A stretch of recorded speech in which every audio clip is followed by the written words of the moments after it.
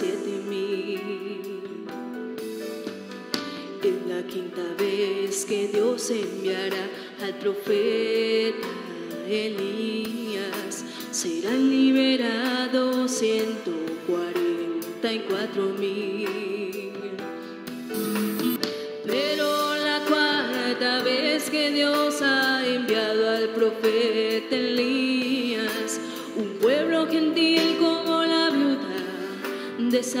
meta obtendrás.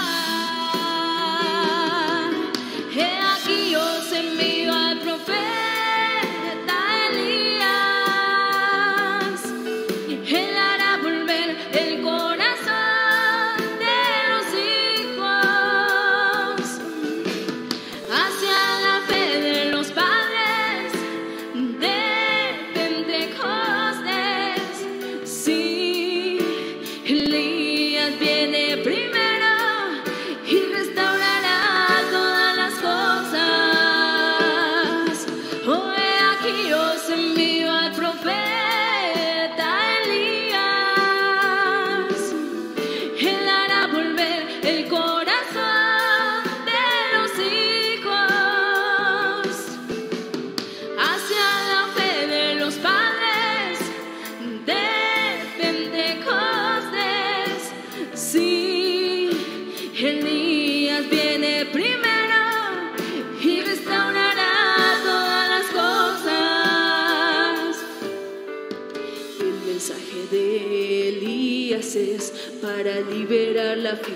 del pueblo, prisioneros de claudicar entre dos pensamientos,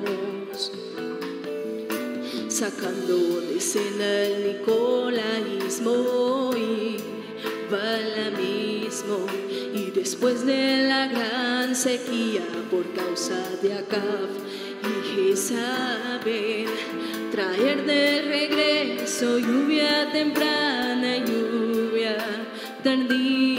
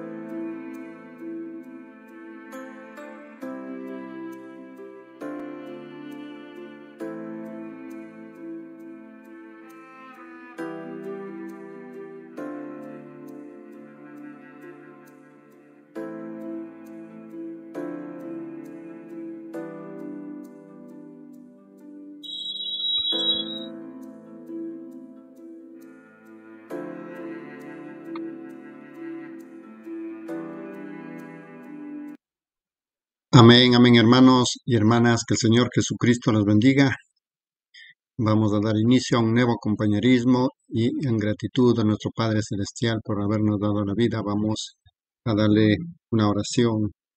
Gracias, amado Padre Celestial, una vez más, Señor, por permitirnos juntarnos, unirnos de esta forma, de esta manera, Señor, aprovechando estos medios tecnológicos que Daniel quiso ver estos tiempos, oh Padre amado. Hoy en esta tarde queremos continuar con la ayuda tuya, Señor, porque sin tu ayuda no podemos ser nadie, oh Padre amado. Queremos entrar a un aprendizaje de tu palabra, Señor, donde tú nos enseñarás cómo portarnos, donde tú nos enseñarás la vida eterna, oh Padre amado. Muchas gracias por ese privilegio, Señor. Un mensaje glorioso que tú enviaste, Señor. Eso fue Apocalipsis 17. Estaba oculto para sabios y entendidos, pero revelaste a niños que quieran aprender, oh Padre amado, sino que en los días de la voz del séptimo ángel, cuando él comience a tocar la trompeta, el misterio de Dios sería consumado, como así lo anunciaste a tus siervos los profetas. Oh Padre amado, entonces en esta tarde queremos alimentar de ese mensaje glorioso, Señor, un mensaje que vuestro profeta predicó en en todo el mundo, oh Padre, y dejó almacenado ese alimento, Señor, para que águilas de este último tiempo lo sepan comer, oh Padre amado, carne fresca, mensaje fresca, palabra fresca, Señor. Muchas gracias por ese privilegio, Señor. De esa manera cumplir tu promesa de Apocalipsis 10, 8 al 11, Señor, donde tenemos que comer el alimento, profetizar nuevamente para tribus, lenguas, naciones y leyes Oh Padre amado, muchas gracias a los hermanos y hermanas también que estarán en la cena, Señor. Guíanos con tu Santo Espíritu, Padre, para poder lecturar, Señor, de una manera que podamos entender comprender, Señor, lo que tú quieres tratar con nosotros, Señor, porque el mensaje ya está dado, tu palabra ya está dado, Señor. Ahora queremos llenarnos de tu presencia, Padre, en el nombre del Señor Jesucristo. Amén, mis amados hermanos. Dios le bendiga a todos. Vamos a continuar con la lectura de este precioso mensaje titulado ¿Quién es este? Predicado en Jeffersonville, Indiana, Estados Unidos, el día 5 de mayo del año 1959. Voy a continuar en los párrafos 21 al 30. Dice así, ellos le estaban buscando a él, ellos le estaban esperando. Y cuando él vino, nos damos cuenta que habían dos grupos. Un grupo estaba a favor de él y uno estaba en contra de él. Y esa es la manera en la que lo encontramos hoy. Eso es lo que su venida siempre ha dividido a la gente. Cada vez que usted encuentra a Jesús, usted encuentra a su alrededor a aquellos que se oponen. Ese es Satanás. Y hoy, cuando nosotros pensamos en ello, no vemos muchos cambios. Todo es lo mismo. Las personas han cambiado, pero el espíritu de las personas no ha cambiado. Así que cuando se asomaron por la entrada y por fin le vieron venir montado en ese burrito blanco, con razón los discípulos comenzaron a gritar, el reino de los cielos se ha acercado. La gente corría a encontrarle y toda Jerusalén fue conmovida. Hay algo acerca de eso. Cuando Jesús viene siempre hay una conmoción y la ciudad entera fue conmovida y ellos no le pueden esconder. Párrafo 22. Y los predicadores de aquel día tuvieron que rendir cuentas de esta conmoción porque era la fiesta de la Pascua. Y ellos exclamaron, ¿quién es este? Cuando la atmósfera estaba llena y la venida del Señor Jesús a Jerusalén había llenado la atmósfera con expectativas, parecía como que los maestros deberían haber sabido lo que iba a suceder. Pareciera como que el sumo sacerdote debería haber sabido. Pareciera como que todos los otros sacerdotes debieron haber sabido. Y no ha cambiado nada hoy, porque el Espíritu Santo está precursando de la venida del Señor Jesús. Y mientras el Espíritu Santo comienza a recorrer la tierra, los fuegos de los avivamientos han, han ardido, han ardido por todas partes. Grandes señales y maravillas han sido hechas, sanidades se han llevado a cabo. Las profecías han salido y todo el conjunto de las bendiciones apostólicas han regresado a la iglesia. Así como fue en aquellos días, así lo es hoy. Mas el espíritu del incrédulo aún clama, ¿quién es este? Párrafo 23. Algunos de ellos creyeron en el Señor Jesús, diciendo que Él fue un buen hombre. Algunos de ellos dijeron, Él es un buen hombre. Eso es lo que ellos dicen hoy. Intentan hacerlo como un Napoleón, un guerrero. Tratan de hacerlo a él como un George Washington, un hombre honesto, pero él no era más que eso. ¿Se fijaron en la lectura de la escritura? Ellos dijeron, este es un profeta que viene de Galilea. Y ellos intentan decir la misma cosa hoy cuando ellos ven este gran movimiento del Señor para restaurar la salud a los enfermos y a los afligidos, al verlo a Él usar su espíritu a su iglesia para discernir los pensamientos de la gente, al verlo hacer lo que hizo cuando estuvo aquí en la tierra para cumplir lo que Él dijo que acontecería. Ciertamente, las iglesias y las personas han estado preguntando, ¿quién es este? Ellos no entendieron quién era Jesús porque ninguno de ellos podían reconocerlo por medio de sus escuelas. ¿De qué seminario salió? ¿De qué escuela de teología viene? Párrafo 24. Y así lo es hoy. La mayoría de las personas que están ungidas con el Espíritu Santo no vieron de ningún no, no vinieron de ningún seminario. Ellos son el producto de la propia lección de Dios pero las señales y los milagros y las maravillas que fueron prometidas en la Biblia acompañan este gran Espíritu Santo mientras se mueve entre el pueblo. Y hoy ellos dicen, ¿de qué escuela son? Tan pronto como usted entra a una ciudad para tener un avivamiento, ellos preguntan, ¿a qué denominación pertenece? Párrafo 25. Tuve una entrevista el viernes por la tarde con un el sacerdote católico romano de la iglesia irlandés de Louisville, y tan pronto como me había introducido a él, un fino hombre erudito, él dijo, Señor Branham, ¿con qué denominación está usted? Yo dije, no estoy con ninguna. Y él dijo, entonces fue usted ordenado como ministro? Yo dije, sí, señor. Él dijo, ¿quién lo ordenó a usted? Yo dije, el Señor Jesús me dio el Espíritu Santo para predicar el Evangelio y me dio una comisión. Bueno, esa es la ordenanza que necesitamos. Jesús nunca le, dio, le dijo a sus discípulos, salid por todo el... No estoy criticando esas cosas, pero ellos han visto su día. Él no dijo, id y estudien por tantos años para ser ministros. Él dijo, esperad en la ciudad de Jerusalén hasta que seáis investidos con poder de lo alto. Él le dijo eso a hombres que no podían ni escribir su propio nombre. Y después de esto, cuando el Espíritu Santo haya venido sobre vosotros, entonces me seréis testigos en Jerusalén, Judea, Samaria y a todos los confines de la tierra. Esa es la ordenanza. Párrafo 26. Nosotros no tenemos registro de que Jesús haya ido a alguna escuela o que se haya graduado de algún seminario. Y aún así se han levantado más seminarios en su nombre por causas religiosas que por cualquier otra cosa en el mundo. Nunca tuvimos ningún registro de que haya ido a la escuela. Mas, sin embargo, ha habido más escuelas levantadas en su nombre que bajo cualquier otro nombre debajo del cielo. Escuelas. Nunca tuvimos ningún registro de que él haya escrito un libro, sin embargo se han escrito más libros acerca de él que del resto de las literaturas que han sido escritas. Y hoy su Biblia es el libro más popular que hay en todo el mundo de entre todas las literaturas.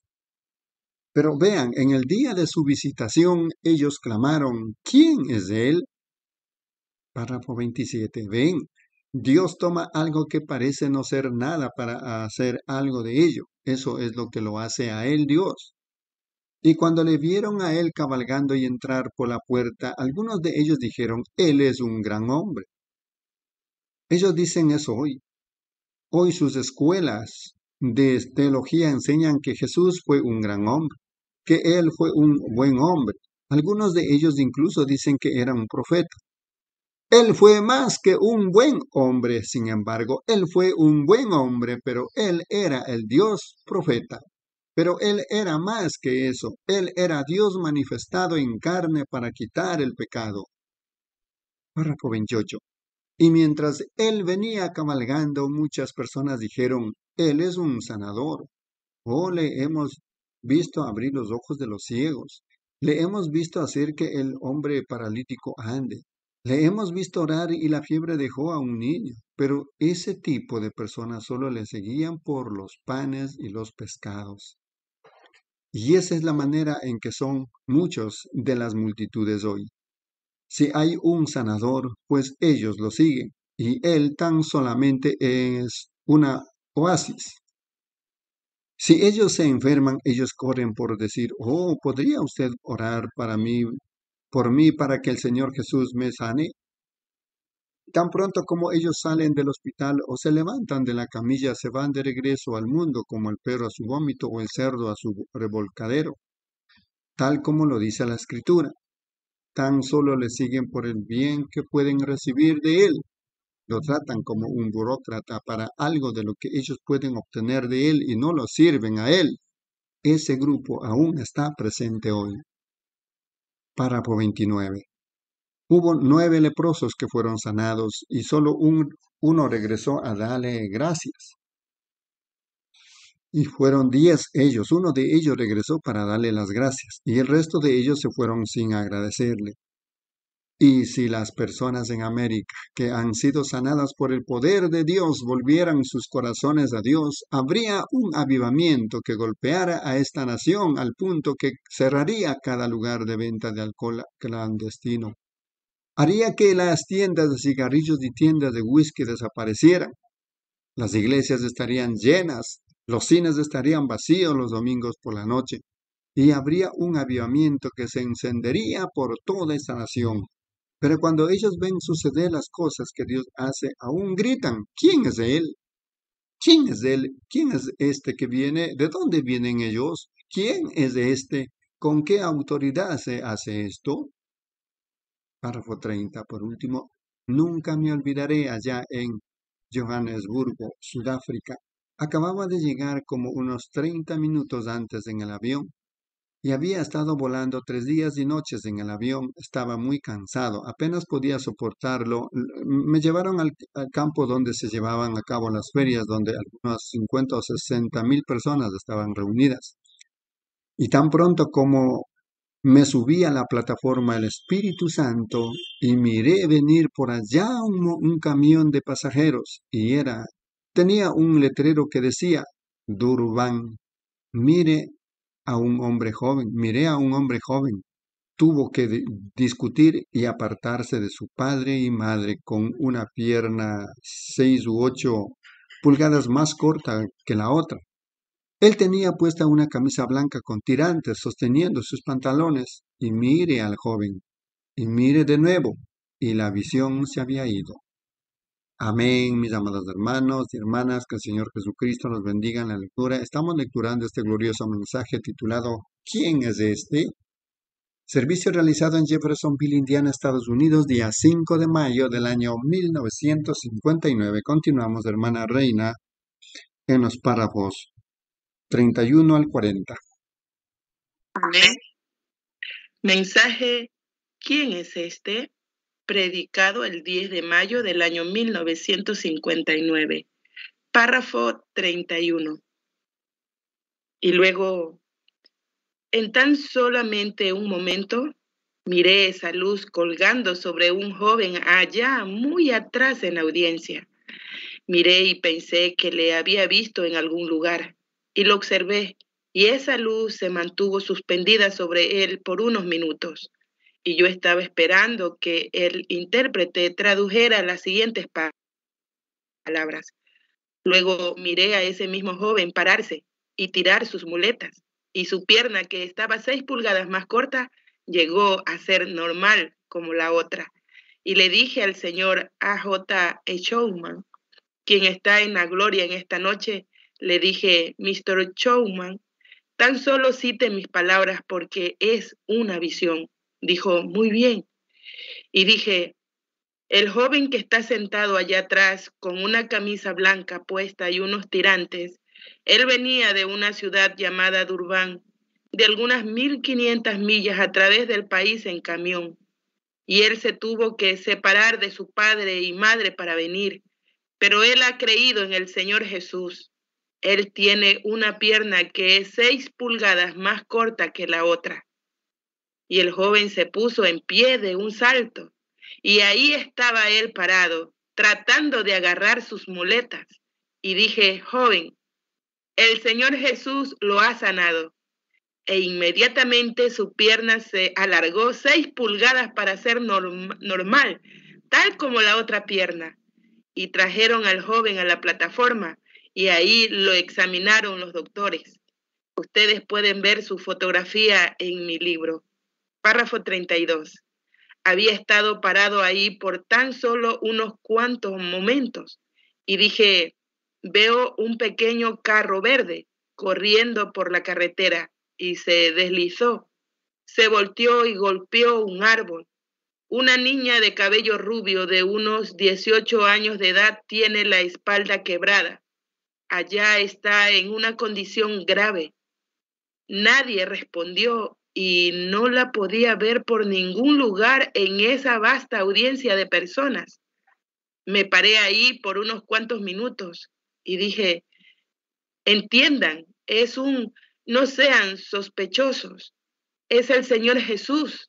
En el poder de la resurrección, Él ha enviado al Espíritu Santo para continuar su obra. Y ahí miré la visión venir de nuevo y no podía ver a la joven mujer. Justo entonces, ahí parada frente a mí, estaba esa luz, tal como la ven en la fotografía. Y se paró ahí y caminé hacia allá y ahí estaba ella recostada debajo de la plataforma. Dije, jovencita, el Señor Jesús te ha sanado y ella comenzó a llorar. Y su madre dijo, oh, no, no le diga que se levante. Dijo, si ella se mueve, ella morirá. Y la jovencita se levantó de un brinco, gritando y alabando a Dios, y su madre se desmayó y cayó sobre el catre donde la joven había estado recostada. 33. ¿Qué es eso? Más o menos a esa hora, un crítico se levantó allá atrás y se paró con un pie sobre una silla y el otro pie sobre la otra y dijo, usted, americano, lo reto a que me diga, ¿en qué nombre hace usted esto y a cuál iglesia denominacional pertenece? ¿Ven? Es lo mismo. Ellos no entienden. Ellos no están buscando estas cosas. Las iglesias no están buscando la venida del Señor. Y el Espíritu Santo está aquí para confirmar su venida, traerla a cumplimiento. Es tanto así que cada uno quiere tomar su propio camino. Esa fue la manera en que fue allá. Cada grupo tenía su propia idea. 34. Pero esa no es la pregunta en esta noche.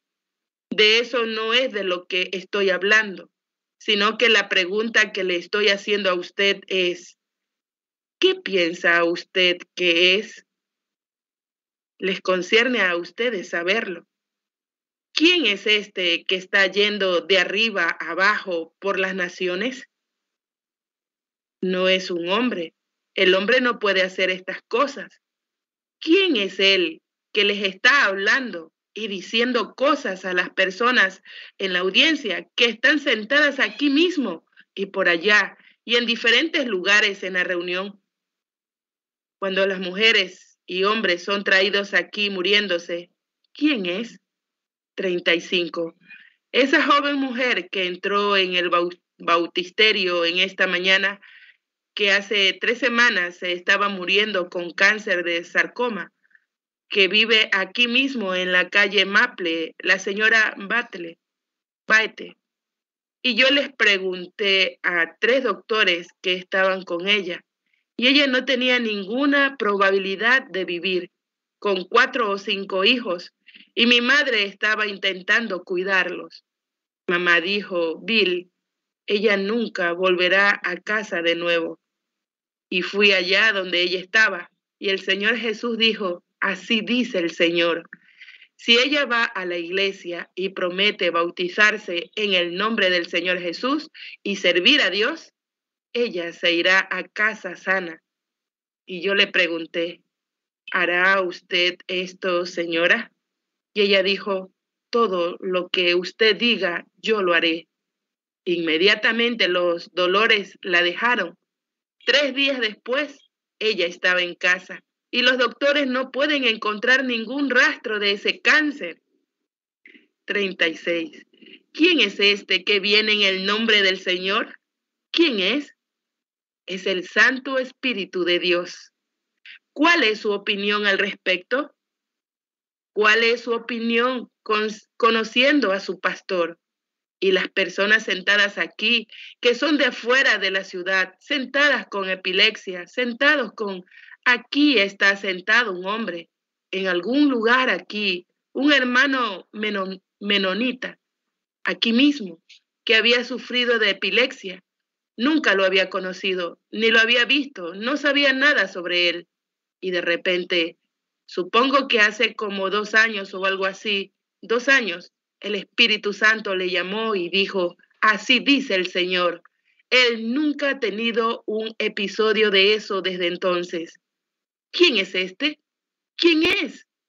Esta mujer estaba sentada aquí el domingo pasado, la que la última vez que yo estuve aquí había venido de algún lugar de Illinois con un gran tumor maligno en su cuerpo.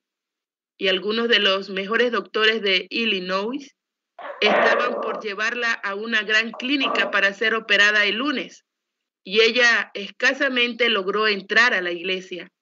Nunca la había visto ni oído de ella en toda mi vida. Y de repente el Espíritu Santo le hizo sombra y le dijo quién era ella, de dónde venía y que ella iba a ser operada al día siguiente. ¿Cuántos estuvieron aquí en ese entonces que vieron eso? Mire las noticias correr de regreso. Al día siguiente, cuando ella fue al doctor, ellos la llevaron de clínica en clínica y no pueden encontrar ningún rastro de ello. ¿Quién es este? Oh Dios, sé misericordioso. 37. ¿Quién es este que está haciendo esto? ¿Se atrevería a decir que fue su pastor? Nunca. ¿Se atrevería a decir que el hombre tuvo algo que ver en ello? Nunca. Es el Espíritu Santo.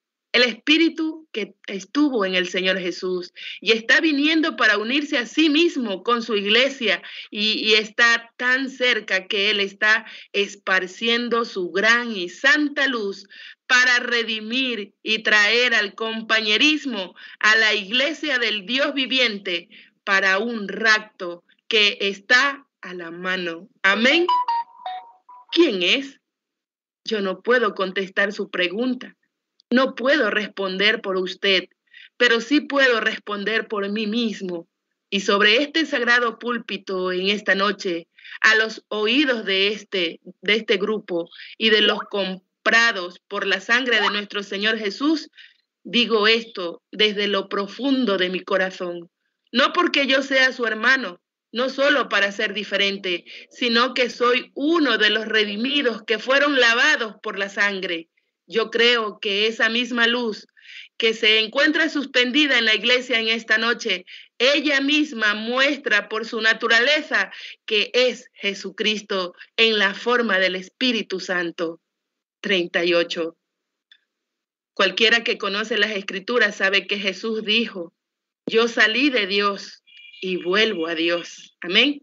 Antes de que Él fuese hecho carne, cuando Él estuvo con Moisés en el desierto, él era la columna de fuego. Y cuando Moisés deseó verle, él pasó con su espalda hacia él. Y Moisés dijo, se mira como un hombre.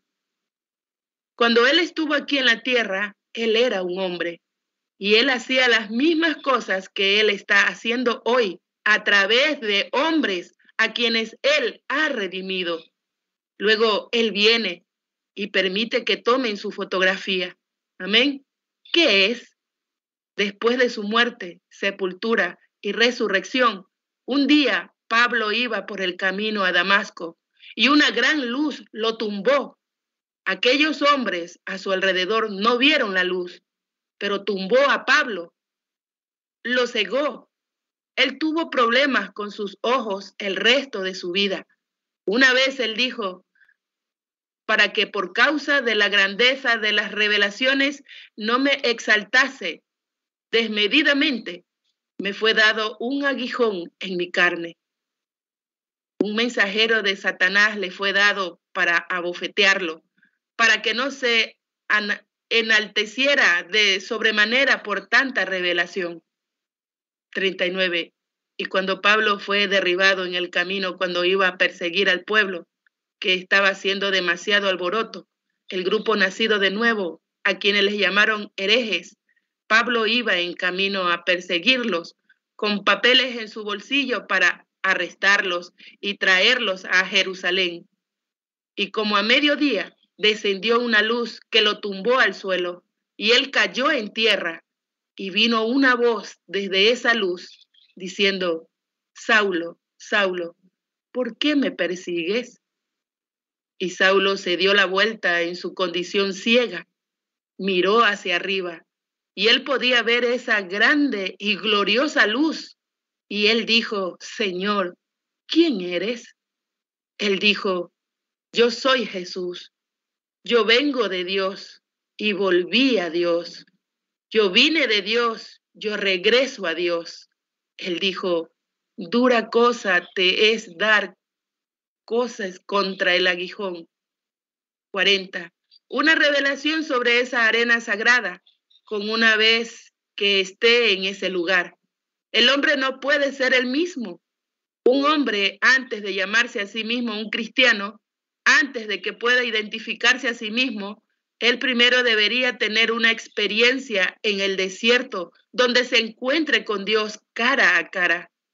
Y hoy ustedes pueden encontrar el mismo tipo de respuestas. Ellos pueden ver al Señor hacer exactamente lo que Él dijo que haría y los teólogos intelectuales lo explicarán todo hasta deshacerlo. Ellos dicen, eso fue para otro día, fue para esta o para aquella edad o todo. Eso está mal. Tal como dijeron de Jesús, Él es Belcebú, el diablo, Él es un adivino y todo ese tipo de cosas. Ellos siempre tienen una explicación.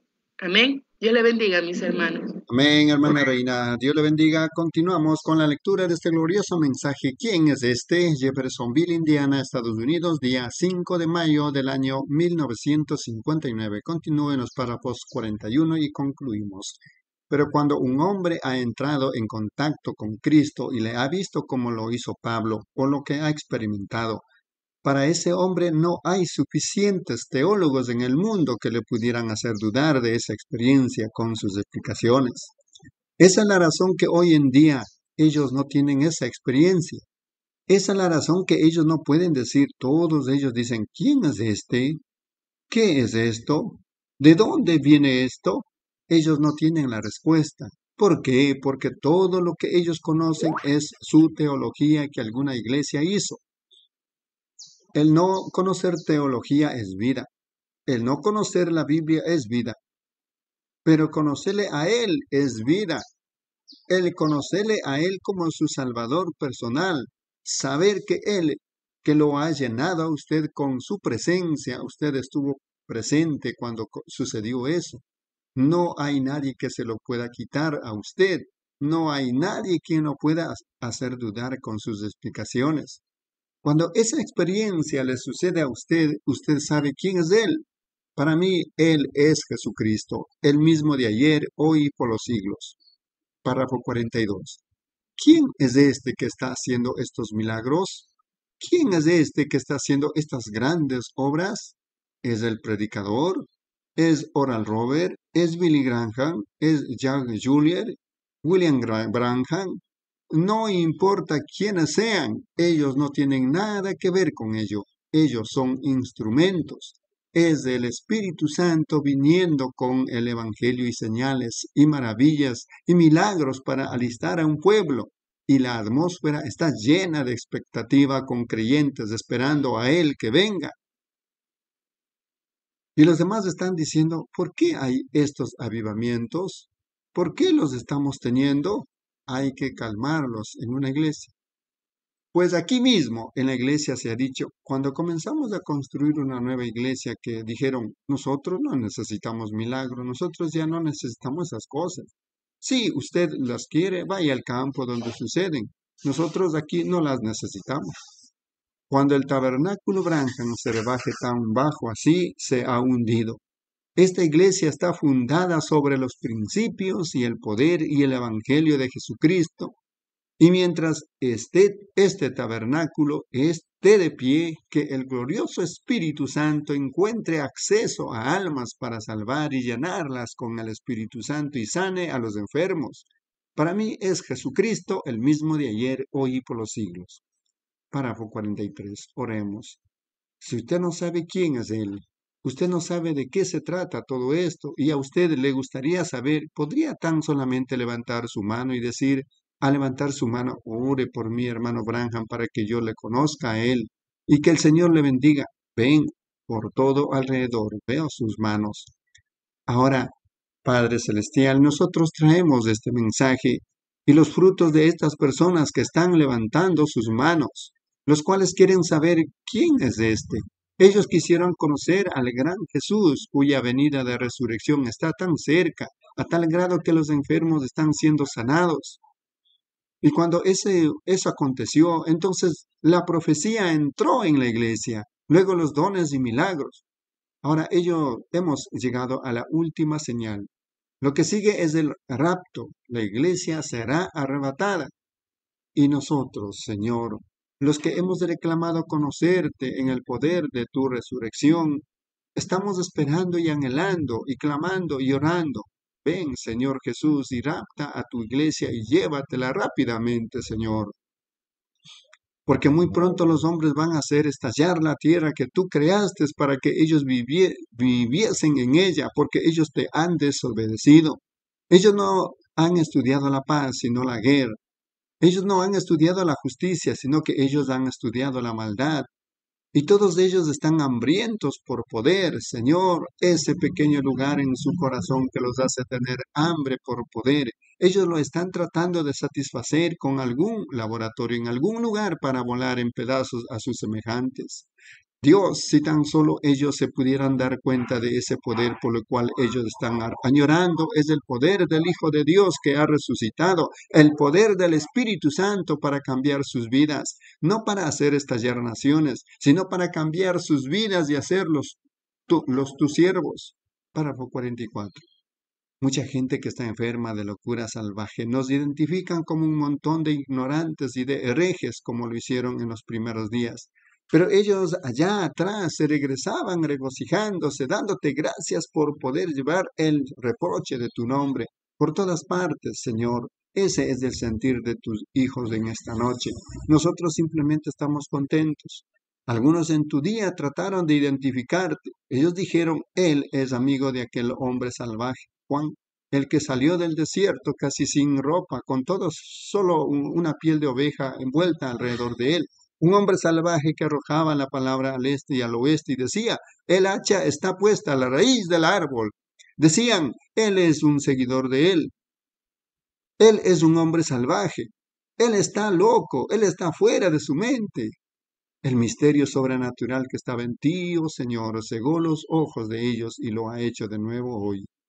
Este gran Espíritu Santo que está precursando la venida del Señor Así como lo hizo Juan en su día, está cegando los ojos de la gente, de aquellos que no quieren ver, pero aquellos que están dispuestos a ver, tú lo has elegido. Todo lo que el Padre me da vendrá a mí. Como tú lo dijiste, y ninguno de ellos se perderá, y yo le resucitaré en el día postrero. Te agradecemos por ello. Y aquellos que han levantado sus manos esta noche oramos, oh Señor Dios, que tú te reveles a ti mismo a ellos por medio de una experiencia en el poder de la resurrección. Concédelo, Señor, y pueda que haya otros aquí que no lo levantaron sus manos, sin embargo, en sus corazones ellos saben que te necesitan. Ruego que tú les bendigas y les des el deseo de su corazón. Que cuando salgamos del edificio esta noche salgamos personas diferentes, que salgamos con un propósito diferente al que traíamos, traíamos al entrar. Si era contrario a tu divina voluntad, que salgamos con una determinación de aferrarnos a los cuernos del altar hasta que nuestra alma esté satisfecha de que hemos tenido una experiencia contigo. Y nosotros sabemos de, quién estamos hablando, porque le hemos conocido y tenemos compañerismo con Él. Concédenos estas cosas, Padre. Sana a los enfermos y a los afligidos. Bendice a nuestro amado y precioso pastor. Dios, nosotros oramos que tú estés con él y su preciosa hermana mientras ellos cantan el Evangelio y predican en la radio. Bendice a los visitantes de nuestras puertas, Señor, que ellos salgan esta noche con un cambio en sus corazones y con un propósito de que desde esta hora en adelante, si ellos no te conocen y no te han servido antes, que ellos te sirvan, sabiendo que todas las demás cosas llegarán a ser nada, pero la palabra de Dios permanecerá para siempre. Concédelo, Padre. Perdónanos de nuestros pecados y que nos podamos encontrar en aquella grande puerta, porque Él a mí me amó y me compró mi salvación. Allá en la cruz. Ahora, después del mensaje, inclinemos nuestros rostros y adorémosle a Él mientras le cantamos. Yo le amo con todo mi corazón. Yo le amo porque Él a mí me amó y me compró mi salvación allá en la cruz. ¿Cuántos realmente le aman? Levanten sus manos, díganlo como un testimonio. Yo realmente le amo. ¿Oh, no es Él maravilloso? Saben, a mí simplemente me gusta sentarme y observar de alguna manera su presencia. Su palabra ha salido, ha caído en los corazones, nos has corregido, nos, traje, nos trae bajo sujeción a su espíritu. Oh, cuán precioso es adorarle a Él. Párrafo 47. Ahora en esta noche, mientras ustedes salen de la iglesia, salgan adorándole a Él. Y recuerden, esta semana habrá servicio de oración aquí el miércoles por la noche. No se olviden de la emisión de radio del hermano Neville el domingo, o más bien el sábado a las 9 por la estación WLRP. A mí simplemente me gusta escucharlos, ¿no es así? El cuarteto o el trío suena tan bonito. Mi esposa y yo y los niños sacamos del pequeño radio y nos sentamos alrededor para escuchar al hermano Neville y su programa y sus bellas palabras de cómo él exalta al Dios al que él ama y cree. Párrafo 48. No digan, e, no digan esto, ustedes visitantes aquí. Si ustedes no tienen una iglesia a la que asisten, vengan y únanse a nosotros. Les digo que no digan esto y Él está sentado aquí presente. No, Señor, yo he dicho esto muchas veces. Yo amo al hermano Nevi, porque primeramente Él es un teólogo y primordialmente Él es un hijo de Dios. Y lo siguiente es que Él siempre es el mismo. Lo he conocido por años. Él nunca ha cambiado ni un poquito. Él sigue siendo Orman Neville, un, ser, un siervo del Señor Jesús. Y creo que él tiene, la otra noche le llamé para preguntarle si, eh, tenía espacio en su programa para que nosotros fuéramos y oráramos por los enfermos. Ustedes saben, esta mañana hubo algunos que vivieron y su pequeña esposa contestó el teléfono y yo le estaba contando a su esposa respecto a eso. Y oh, cuánto le agradecemos a Dios por su fina esposa y su familia. Eso está muy bien cuando nosotros vemos a un ministro y su esposa que se comportan así, con dulzura y humildad. Eso hace que la iglesia corra aún mucho mejor. Eso simplemente es más dulce cada día que pasa. Párrafo 49. ¿Le aman con todo su corazón? Muy bien, nosotros tenemos un canto para despedir que nosotros cantamos titulado De Jesús el nombre invoca. Denos un tono, hermanas, si lo tienen en el himnario y nosotros vamos a cantar nuestro canto de despedida. Y cuando cantemos el primer verso, démosle la vuelta y salúdense los unos a los otros muy bien. Denos un tono. De Jesús el nombre invoca, heredero del dolor, Dulce hará tu amarga copa con el néctar de su amor. Suave luz, manantial de esperanza, fe y amor. Dios le bendiga, hermano Neville. Sumo bien celestial es Jesús el Salvador. Cantemos este verso ahora. De Jesús el hombre exalza, cuyo sin igual poder del sepulcro, del sepulcro nos levanta, renovando nuestro ser. ¿No será eso maravilloso? Suave luz, suave luz, manantial de esperanza, fe y amor, sumo bien, sumo bien, celestial, es Jesús el Salvador. Párrafo 50. ¿Cuántos recuerdan nuestro pequeño canto que solíamos cantar? No olviden el altar familiar. ¿Lo recuerdan? No sé si se lo sepa el tono o no. Intentemos cantarlo. Como no lo recuerdan, vamos, o quizá lo pueda cantar con ustedes. No olviden el altar familiar. Jesús quiere encontrarlo ahí. Él tomará todas sus preocupaciones. Oh, no se olviden del altar familiar. ¿Cuántos de ustedes hacen altar familiar? Eso es bueno, cantémoslo de nuevo. Yo, vuelvan adentro. A mí me gusta eso. Ahora todos juntos. Vean. No olviden el altar familiar. Jesús quiere encontrarlo ahí. Él tomará todas sus preocupaciones. O no se olviden del altar familiar. Párrafo 51. Oh Señor, está escrito en las escrituras que tomaban del cuerpo de Pablo pañuelos o delantales, y los espíritus inmundos salían de las personas, y los enfermos eran sanados. Oramos, oh Señor, que de esa misma manera sea demostrado tu poder sobre estos pañuelos en esta noche. Mientras los envío a los necesitados y enfermos por todo el mundo, hay alguien que está en expectativa y esperando que esto suceda. Ruego, Padre, que tú no lo concedas en el nombre de Jesús, tu Hijo. Amén.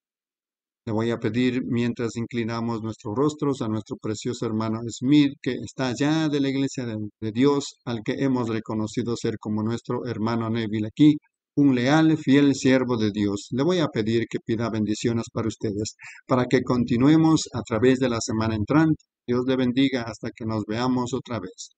Hermano Smith, el hermano Smith ora. Amén. Sí, Sí, sí, sí, amén. Saludos los unos a los otros. Bienvenido de nuevo al tabernáculo. Dios le bendiga. Amén, mis amados hermanos y hermanas, que el Señor Jesucristo los bendiga en la lectura. De esta manera hemos concluido este glorioso mensaje. ¿Quién es este? Servicio realizado en Jeffersonville, Indiana, Estados Unidos, día 5 de mayo del año 1959 que quede bien plasmado en cada uno de vuestros corazones. Inmediato, mis amados hermanos, vamos a pasar al siguiente mensaje titulado Imágenes de Cristo. Servicio realizado en Jeffersonville, Indiana, Estados Unidos, día 25 de mayo del año 1959. Continuamos con este nuevo mensaje. Hermana Rosalia, Dios le bendiga en los párrafos 1 al 10. Amén, hermanos. Dios les bendiga, hermanas y hermanos.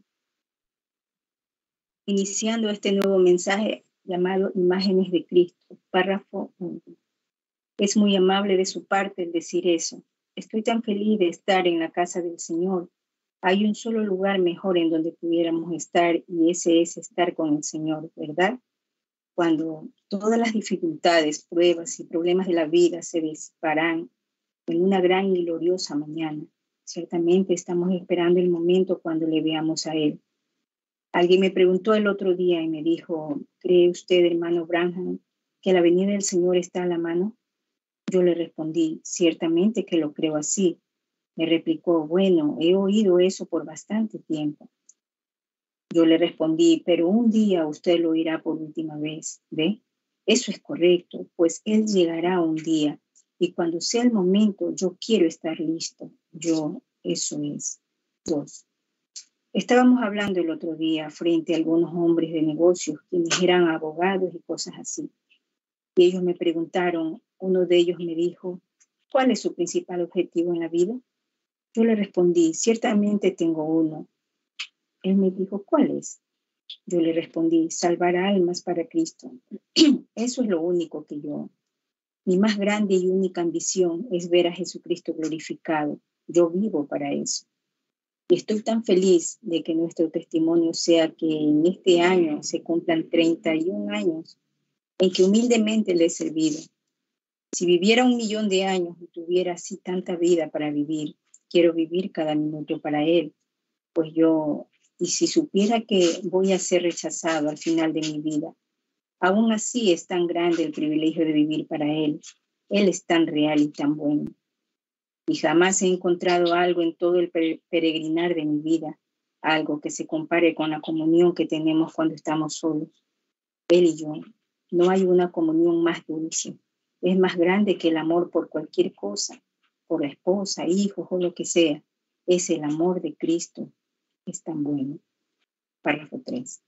Ahora, estamos contentos de ver este avivamiento continuando por toda la semana y escuchar que el hermano Parnell y otros han estado predicando también desde aquí.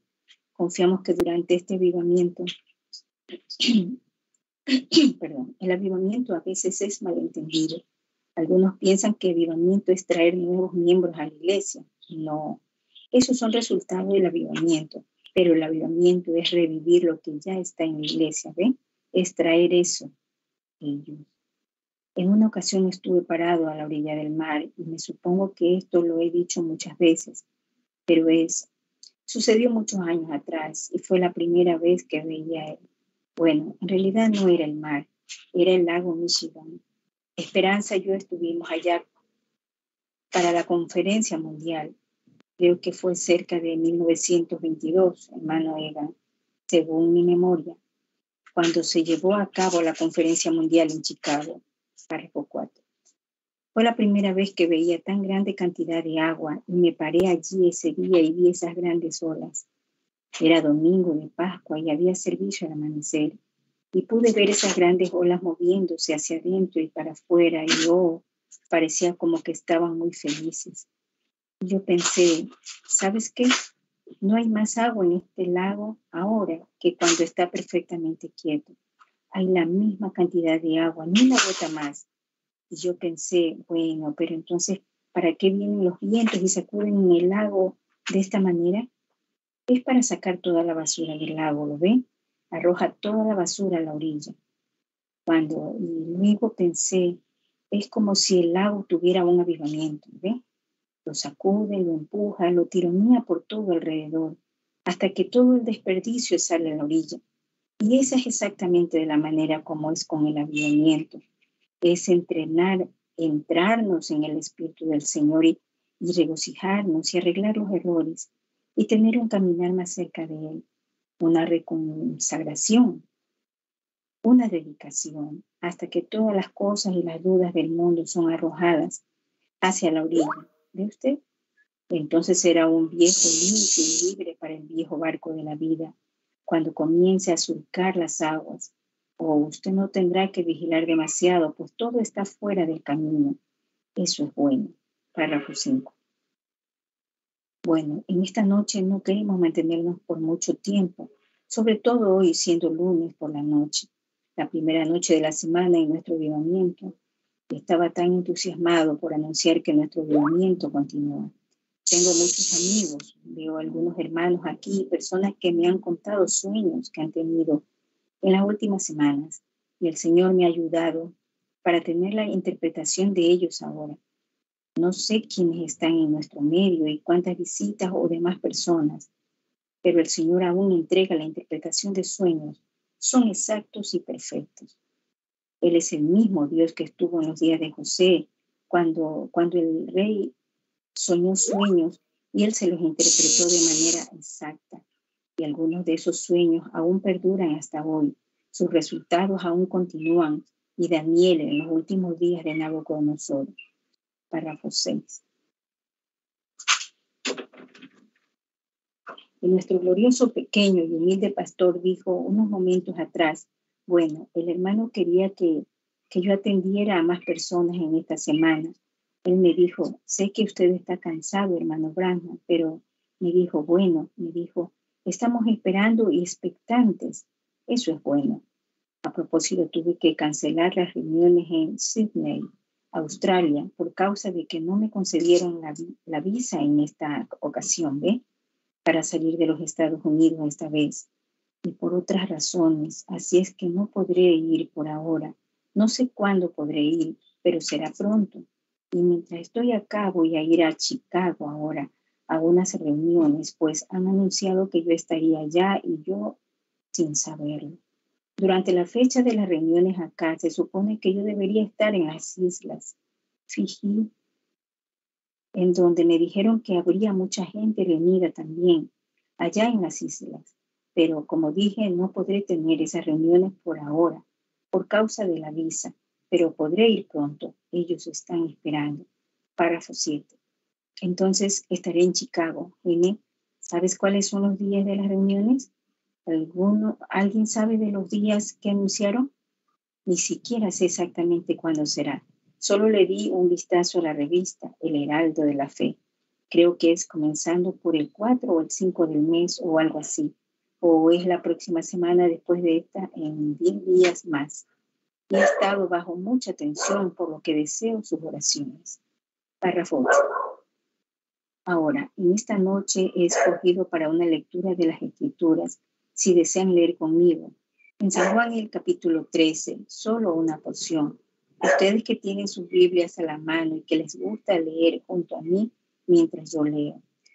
Inmediatamente después de este servicio, en esta noche va a haber un ensayo de boda aquí Así es que tan pronto como despidamos el culto, me gustaría que nos apresuráramos a salir tan rápido como podamos. Bueno, no apresuradamente, sino solo tan pronto como podamos, pues ellos quieren ensayar la ceremonia. Habrá una boda aquí mañana por la noche. Dos de nuestros hijos en este tabernáculo de reunión se darán en matrimonio mañana por la noche. Como todos ustedes ya saben, nuestro amado hermano David Woods está desposando a Marilyn Jeffers mañana por la noche en el tabernáculo, justo antes del culto. Por lo tanto, esta boda tiene que ser ensayada. No será una ceremonia muy formal, será una boda semiformal mañana por la noche. Párrafo 9. Ahora oremos antes de leer su palabra. Padre Dios, mientras venimos de la manera más reverente hacia tu presencia, llevando delante de nosotros el todo suficiente nombre de Jesús. Estamos seguros de que tú nos oirás, pues Él dijo, pedid al Padre cualquier cosa en mi nombre y yo lo concederé. Entonces venimos como creyentes cristianos con confianza al trono de gracia, sabiendo esto, que si nuestro corazón no nos condena, entonces sabemos que nuestra petición a Dios, Él la ha concedido y oramos que nuestras vidas sean satisfactorias para ti a través de la confesión de nuestros errores y de su justicia para perdonarnos, para que nuestros deseos sean cumplidos en esta noche. Y Señor, nuestro más grande deseo es ver tu, tu gran gracia derramada sobre nosotros y perdona nuestros pecados y sana las enfermedades en nuestro medio. Y que tú nos hables por medio de una revelación o profecía o cualquier cosa que tú desees decir a tu iglesia. Que nuestros corazones sean receptáculos para tu espíritu. Que estemos tan conectados con la línea principal en esta noche que el Espíritu Santo pueda hablar a nuestros corazones y tomar gloria de su presencia. Párrafo 10. Ahora, Señor, oramos por aquellos que están enfermos y necesitados. Antes de venir aquí, el secretario trajo a mi escritorio en estos últimos dos días tan grande lista de nombres de personas por toda la nación, moribundas, sufriendo, las emergencias escritas en rojo, y mientras pongo mi dedo en cada una de ellas, bajando por toda la página, oh Dios, en presencia de esta iglesia, en esta noche yo ruego tu gracia y misericordia por cada uno. Tú conoces a cada uno de ellos y lo que necesitan. Y no queremos olvidar a aquellos, Señor, que están convalecientes en esta noche, que están por allá en los asilos y sanatorios. Oh Señor Dios, muchos de ellos son tus hijos lavados con tu sangre. Oh, cuando envejecemos y nuestros amados nos olvidan, tenemos un consuelo y es que Dios jamás nos olvida. Todos nuestros hechos están escritos en el libro de la vida y están por siempre en su presencia. Rogamos por ellos en esta noche, Señor. Pedimos misericordia por nuestra nación y por aquellos que están pecando y cometiendo mal, por aquellos en los bares y en los diferentes estados de pecado en esta noche. Pedimos gracia perdonadora, Señor. Oramos que tú nos sostengas de tal manera, Señor, que nuestros corazones sean tan llenos de amor por ti. Sería nuestro más grande deseo servirte y ver a aquellos salvos también. Bendice la lectura de tu palabra y todo lo que hacemos. Humildemente inclinamos nuestras cabezas te agradecemos, pues lo pedimos en el nombre de Jesús. Amén. Dios les bendiga, hermanos. Amén, amén, hermana. Dios le bendiga. Continuamos y recordando, hemos iniciado un nuevo mensaje titulado Imágenes de Cristo, servicio realizado en Jeffersonville, Indiana, Estados Unidos, América, el día 25 de mayo del año 1959. Voy a continuar en los párrafos del 11 al 20. Vamos ahora al libro de San Juan, el capítulo 13, y leemos, leeremos una porción.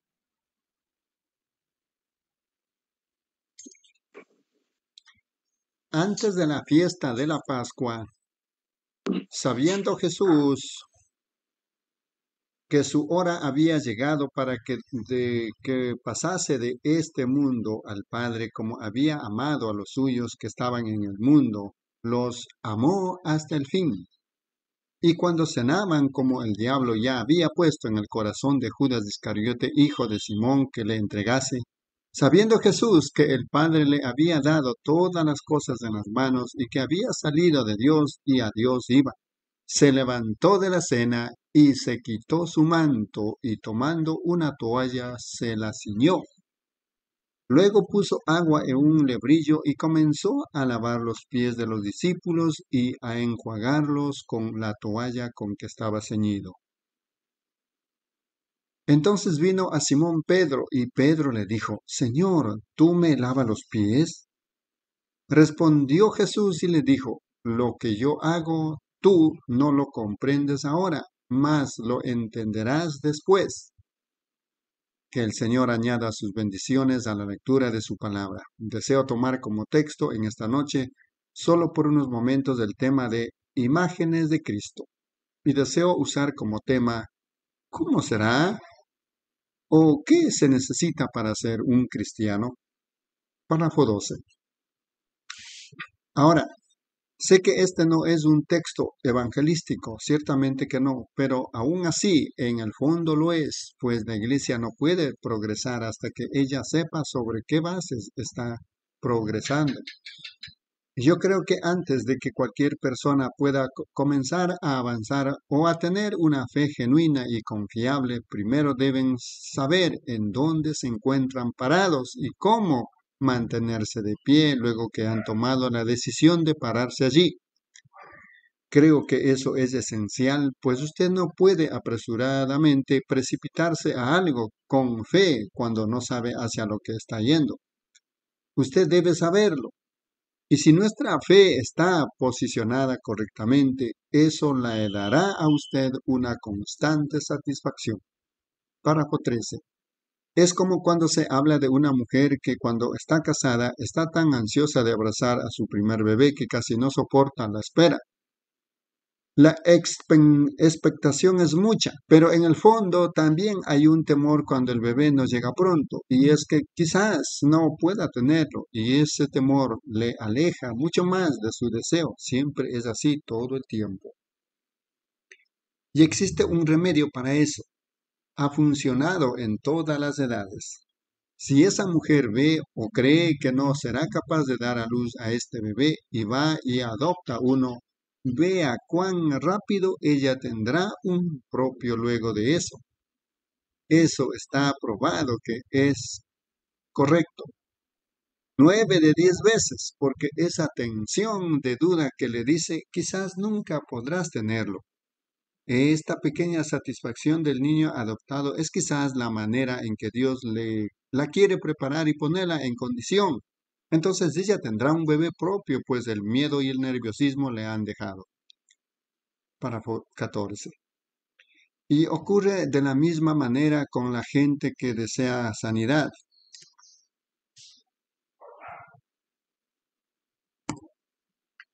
Si tan solo ellos pudieran ver una pequeña evidencia visible. Como Elías cuando Jesse le dijo, veo una nube como la mano de un hombre. Elías dijo, oigo el sonido de abundante lluvia. Él vio la evidencia. Por eso es que muchas veces yo le digo a la gente, vamos, comiencen a alabar al Señor, ve, porque ese es el bebé adoptado. Está en su intelecto hasta que llega a su alma el saber que están sanados. Es entonces que la fe toma control. Usted debe saber lo que está haciendo. Debe tener confianza en lo que está haciendo. Párrafo 15. Y entonces tantas veces hemos oído esta expresión, oh, ¿qué es un cristiano? Algunos lo limitan a solo unirse a una iglesia. Alguien dijo, bueno, un cristiano es un, un miembro de iglesia, alguien que está afiliado con la iglesia. Yo creo que todos los cristianos deberían hacer eso, pero lo que no creo es que eso en sí mismo sea cristianismo. ¿Ve usted? Eso es lo que un cristiano hace después de que ha llegado a ser un cristiano. Pero no quiere decir que por hacer eso él es un cristiano. Otro dice, no, es ir a la iglesia y hacer una declaración de credos y ser leal a las cosas que la iglesia enseña. Y hay otros que dicen que quizás es llevar alguna cosa con ellos, una pequeña cruz o algo así, pues esa es la señal de ser un cristiano.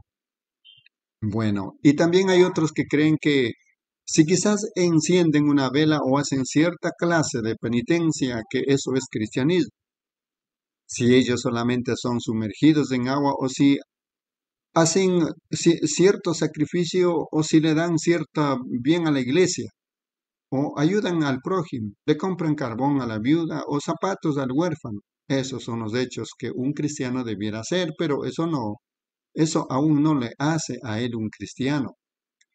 Párrafo 16. Y otro dice que si usted lleva consigo una imagen de Cristo en su automóvil o en la pared de su casa, esa es la señal de un cristiano. Bueno, esas cosas están bien, pero yo no creo que llevar una imagen lo haga usted un cristiano. Yo creo que ser una imagen de Cristo lo hace a usted un cristiano. No es lo que hacemos por fuera, sino lo que ha sucedido en el interior, lo que nos hace lo que somos. Por lo tanto, si Él es nuestra imagen y nosotros estamos a su semejanza y somos miembros de su cuerpo, entonces debiéramos ser imágenes como Él. Entonces nuestras vidas debieran reflejar la imagen de Cristo, no al unirnos a la iglesia o al llevar un crucifijo en nuestras emociones, sino que debiera estar en la vida presencia del Dios viviente que sea reflejado a través de nuestra vida. Párrafo 17. Expertos me han contado que antes de que tuvieran la invención del fundidor para sacar la escoria del oro y el hierro y la pirita, la pirita es tan parecida al oro verdadero que es llamado oro de los tontos. Y la manera que tenían para sacar todo ese todo eso era sacarlo a golpes con un martillo. Los indios solían hacerlo, y los antiguos orfebres lo hacían así también, lo golpeaban hasta que toda la escoria salía. Y la única manera que tenían para saber que ya era oro puro era que el forjador podía ver su reflejo en el oro, el que estaba golpeando. Constantemente miraba su trabajo hasta que él casi se podía afeitar mirando su propio reflejo en el oro que estaba golpeando. Y cuando el Espíritu Santo de Dios comienza a golpearnos con el martillo del Evangelio, hasta que todas las cosas del mundo han salido y podemos reflejar la imagen del Señor Dios, entonces yo creo que llegamos a ser cristianos, porque la palabra cristiano significa ser como Cristo y reflejarle a Él. Párrafo 18. Ahora, eso no significa que tengamos que dejarnos crecer una barba larga como los artistas lo pintan a Él ni tampoco significa que tengamos que dejarnos crecer el pelo largo como los artistas lo pintan a él, ni usar una túnica como lo que él usó, porque vivimos en otro día.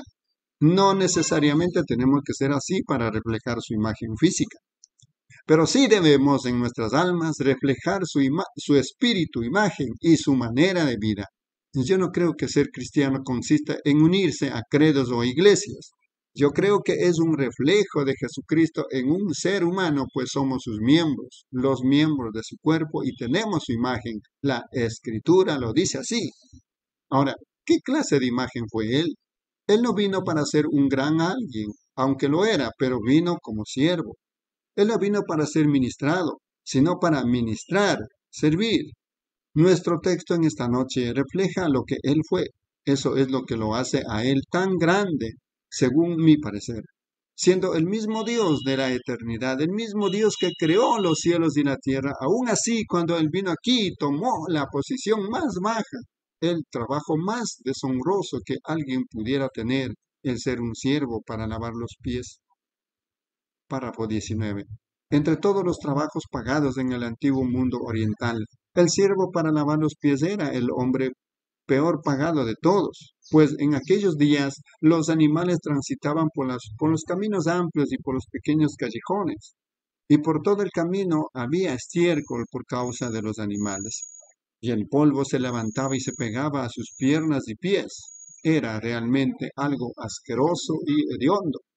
Y cuando alguien visitaba a otro, no podía entrar a la casa de esa manera.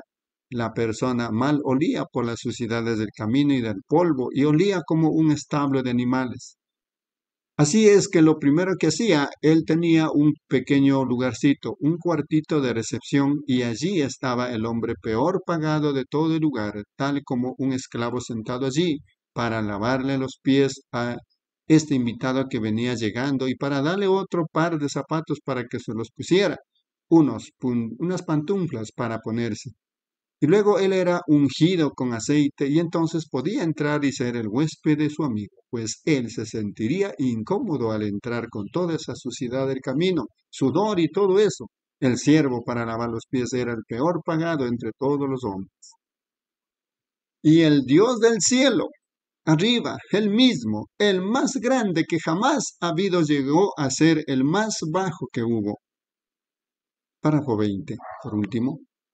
¿Qué diferencia con el así llamado cristiano de hoy que refleja algo? ¿Qué diferencia? O el así llamado cristiano de hoy quiere ser servido o él comienza a pensar que él es algo. ¿Qué diferencia con él cuando él le refleja a él? Él nunca vino a ser ministrado, sino que vino a, él vino a ministrar. Que el más grande entre vosotros sea el siervo de todos. Y hemos visto hoy que nuestro comportamiento moderno de cristianismo es yo soy alguien y tú no eres nada. O eso es, es errado. No debería ser de esa manera. Estamos tratando de reflejar cristianismo de la manera equivocada. Dios no quiere que lo hagamos así. El, nosotros cantamos el himno, ser como Cristo, pero cuando se llega al punto de rebajar nuestro orgullo y humillarnos como Él lo hizo, entonces rechazamos hacerlo. Al hacerlo así, el hombre ha formado denominaciones que se pueden separar entre sí, no teniendo el espíritu, como dice la escritura. Ellos se separan, pertenecemos a tal y tal iglesia. Es una iglesia mucho más grande, es una iglesia mejor, nuestra denominación es una denominación más grande. Eso no es actuar como Jesús. Eso no refleja su amor y su personalidad. Él vino a lo más bajos, a la prostituta de la calle, al mendigo, al vagabundo y llegó al, llegó al polvo con ellos. Eso es la vida cristiana. Esa es la manera en que debe ser reflejarle a Él de esa manera. Amén, mis amados hermanos. Que el Señor Jesucristo los bendiga. Recordando, estamos lecturando este mensaje titulado Imágenes de Cristo, Jeffersonville, Indiana, Estados Unidos, día 25 de mayo del año 1959. Continuamos, hermana Reina, en los párrafos 21 al 30. Amén. Dios le bendiga, hermanos. Mensaje Imágenes de Cristo predicado el 25 de mayo del año 1959. Párrafo 21. Oh, yo conozco personas que dicen, esos días ya pasaron. No, no han pasado. Si Cristo aún es Cristo, si su espíritu aún es el Espíritu Santo que estuvo en él, y si está en usted, le hará tomar esa misma posición también. Pero hoy Tratamos de pensar que somos diferentes. ¿Cuán lejos está eso de su oración? Cuando Él oró que en esto sabrán todos los hombres que sois mis discípulos, cuando os améis los unos a los otros. En vez de eso, contendemos el uno con el otro. Nos despreciamos el uno al otro, pues no concordamos en ciertas cosas y salimos y nos acusamos el uno al otro, ¿ve? Y con todo reclamamos ser cristianos. Yo conozco gente que reclama ser llena del Espíritu Santo y es culpable de tales cosas. Salir por ahí y decir cosas realmente malas acerca de otros cristianos cuando no deberían hacerlo. 22. Ahora, hermano, hermana, cuando tenemos esa clase de espíritu, deberíamos también tener en conciencia de que aún no somos cristianos. No importa cuánto reclamemos, lo que cuenta es lo que poseemos. ¿Ve? No podemos ser cristianos sin amar a todas las personas. Podemos tener diferencias con las personas. Jesús no vino y dijo, bueno, todos ustedes fariseos, todos ustedes se van a ir al infierno y no hay oportunidad para ustedes por esto, eso y lo otro, y porque ustedes son fariseos.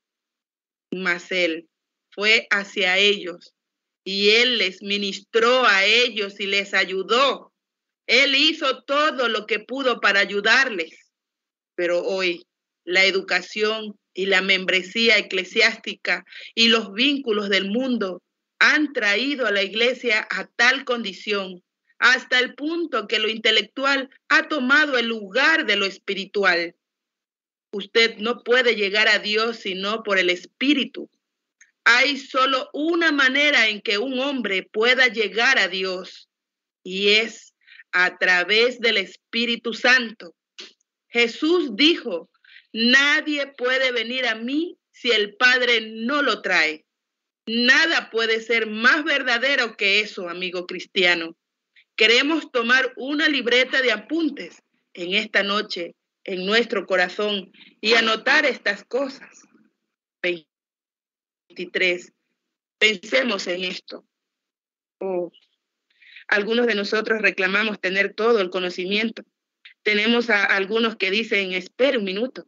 Ellos aman ser doctores y santos padres y todo eso. Pero aún conociendo todo aquello, si usted tuviera todo el conocimiento, no le haría ningún bien a menos que usted tuviera un espíritu de amor en usted. La Biblia dice, aunque tuviera todo el conocimiento y no tengo caridad, nada soy. Y qué bien le hace a nuestro conocimiento cuando alguien dice, yo no iría a un avivamiento como ese, porque ellos no son gente educada, yo no me asociaría con ellos. No importa si ellos conocen el alfabeto o no, ellos pudieran conocer a Cristo en vez de eso. Ciertamente yo nunca pudiera llegar demasiado bajo. Que Dios siempre mantenga ese espíritu en mí. No importa cuán bajo sea lo que el otro crea, lo que él no crea, el credo, color o lo que sea. Yo quiero extender mi mano y ayudarle, seguro. Yo quiero ese espíritu en mí. No pensaré que soy mejor que alguien más. Yo pudiera erguir mi pecho y decir, todo el mundo puesto de pie cuando yo entre. O yo tengo las campañas más grandes de todos. ¿Quién soy yo después de todo? Sino el barro que Dios ha moldeado que yo me pueda humillar para que su vida pueda ser reflejada. Que todos nosotros cristianos nos sintamos de esa manera. El conocimiento no nos lleva a ningún sitio. Amén. 24. Por ejemplo, si tuviéramos una jaula llena de canarios y la jaula fuera del tamaño de este tabernáculo y un pequeño canario volara hasta lo más alto de la jaula y dijera, caballeros, quiero decirles algo, Sucede que yo soy un poco superior a todos ustedes. Yo soy un canario que conoce todo acerca de los seres humanos. Oh, yo puedo explicar todo. Yo he visto a la dama caminando por toda la casa. He visto a los niños jugar. Yo conozco todo. Así es que escúchenme. Y justo en el momento en que él está alabando su pequeño cerebro, aparece un hombre que ha estudiado en la Universidad de Princeton con las más esterilizadas de las gramáticas. Y este hombre comienza a entablar una conversación con el pequeño canario. utilizando la dicción más elevada que pudiera encontrar y hablándole a este pequeño canario. Yo me imagino que la pobre avecita daría vuelta su cabeza de lado a lado, escuchando de un lado y de otro, pero sin entender nada de lo que la persona está hablando. Aunque el ave le puede oír, aunque le puede ver, pero ¿de qué le sirve su pequeño conocimiento? De nada, pues no sabe de lo que está hablando el hombre. ¿Por qué? Porque tiene un cerebro de canario, no tiene un cerebro humano. Él solo entiende como entienden los canarios. 25. Y esa es la manera en que es con los humanos. No me importa cuán intelectual sea usted. El hermano Abraham golpea el púlpito cinco veces. Todavía tenemos cerebros de canario, pues solo somos seres humanos. Dios es conocido por el Espíritu y por la revelación, por el Espíritu Santo. Nunca seremos capaces de entenderlo a Él a través del intelecto. Usted puede hablar y entrar y tener reuniones intelectuales y psicología, todo lo que quiera, y la gente jamás conocerá a Dios. No pueden. Usted puede explicar y decir que la gente que llora y que da vuelta la otra mejilla son gente pasada de moda, pero ese es el hombre que está reflejando a Cristo en su vida. Un hombre que es humilde, un hombre que caminará con Dios y que actuará como Jesús. 26. Pero ve usted, la pequeña ave no pudo entender aunque pensaba que podía, pues ella no es hecha de esa manera. Su intelecto no se compara con el intelecto de un estudiante inteligente. Y tampoco nuestro intelecto nunca se comparará con Dios. ¿Cómo pudiera nuestra pequeña e infinitamente compararse con la mente finita? O mejor dicho, nuestra mente finita compararse con la mente infinita de Dios. Esa mente infinita de Dios va mucho más allá de lo que el intelecto humano jamás podría hacer. La única manera en que esa avecita podría saber de lo que ese hombre está hablando es rindiéndose y aceptándolo y haciendo todo lo que él crea que el hombre quiera que haga. 27.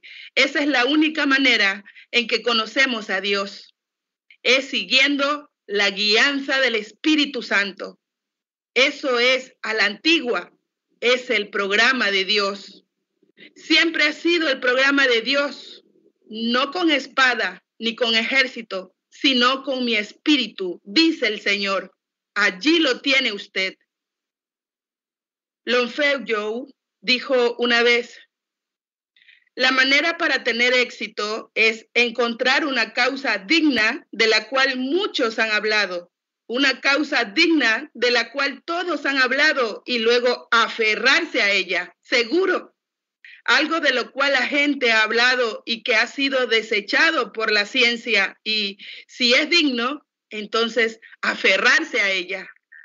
¿Sabía usted que en 1872 la Asociación Médica de los Estados Unidos rechazó el uso de las tinas de baño? Ellos declararon que su uso era absolutamente antihigiénico y que de seguro esparciaría enfermedades por doquier. Las tinas de baño, finalmente, ellos las aceptaron. 28. Y este evangelio, chapado a la antigua, del cual estamos hablando, el lavamiento en la sangre del cordero, puede parecer pasado de moda, pero tendrán que venir a él tarde o temprano. Amén. Es una causa digna. Aférrese a ella con todo lo que usted tenga. Es un camino por el lavamiento de la sangre que limpia a un hombre. No salir por allí y beber y fumar y salir de parranda y llamarse a sí mismo cristianos porque pertenecen a una iglesia. Es ese Espíritu Santo limpio e inadulterado en una vida humana la que refleja a Jesucristo, el Hijo de Dios. Esa es la razón por la cual la gente rechaza hoy al nuevo nacimiento. O ellos tienen lo que ellos llaman el nuevo nacimiento, una manera de saludarse de manos con el pastor, pero eso no es un nacimiento. La razón por la cual ellos, ellos no lo aceptan. Por eso es que ellos se unen a iglesias, pues allí pueden venir de una manera intelectual. Dios dijo, a menos que un hombre nazca de nuevo, el tal no puede ni siquiera ver el reino de Dios. No importa cuán intelectual usted pueda ser o cuán buen cristiano usted reclame ser, usted debe nacer de nuevo. Usted dice, entonces, hermano Branja, ¿tengo que ir a alguna pequeña misión por allí? Eso no significa eso. Significa que usted debe recibir el nuevo nacimiento. Usted debe nacer de nuevo. 29. Esta es una audiencia mixta, pero voy a decir algo. ¿Qué es un nacimiento? Si un nacimiento ocurre en un pajar, o si ocurre en el suelo, o en un hospital cuyos cuartos están decorados con seda color de rosa, es una suciedad de cualquier manera en que usted lo quiera ver, ¿correcto? Y así es con el nuevo nacimiento. Es un revoltijo de donde usted lo mire, pero produce vida. Amén. Produce vida. ¿Qué clase de vida? Una vida de servicio, para humillarse a usted mismo, para negarse a usted mismo. Esa es la clase de vida. Oh, ellos dicen, pero yo los he visto llorar y gemir alrededor del altar y desordenarse. Seguro, ellos han estado naciendo de nuevo, es un desorden. No me importa dónde usted vaya, usted se puede levantar, su cara llena de lágrimas, sus ojos rojos y sus manos partidas de tanto golpear el altar.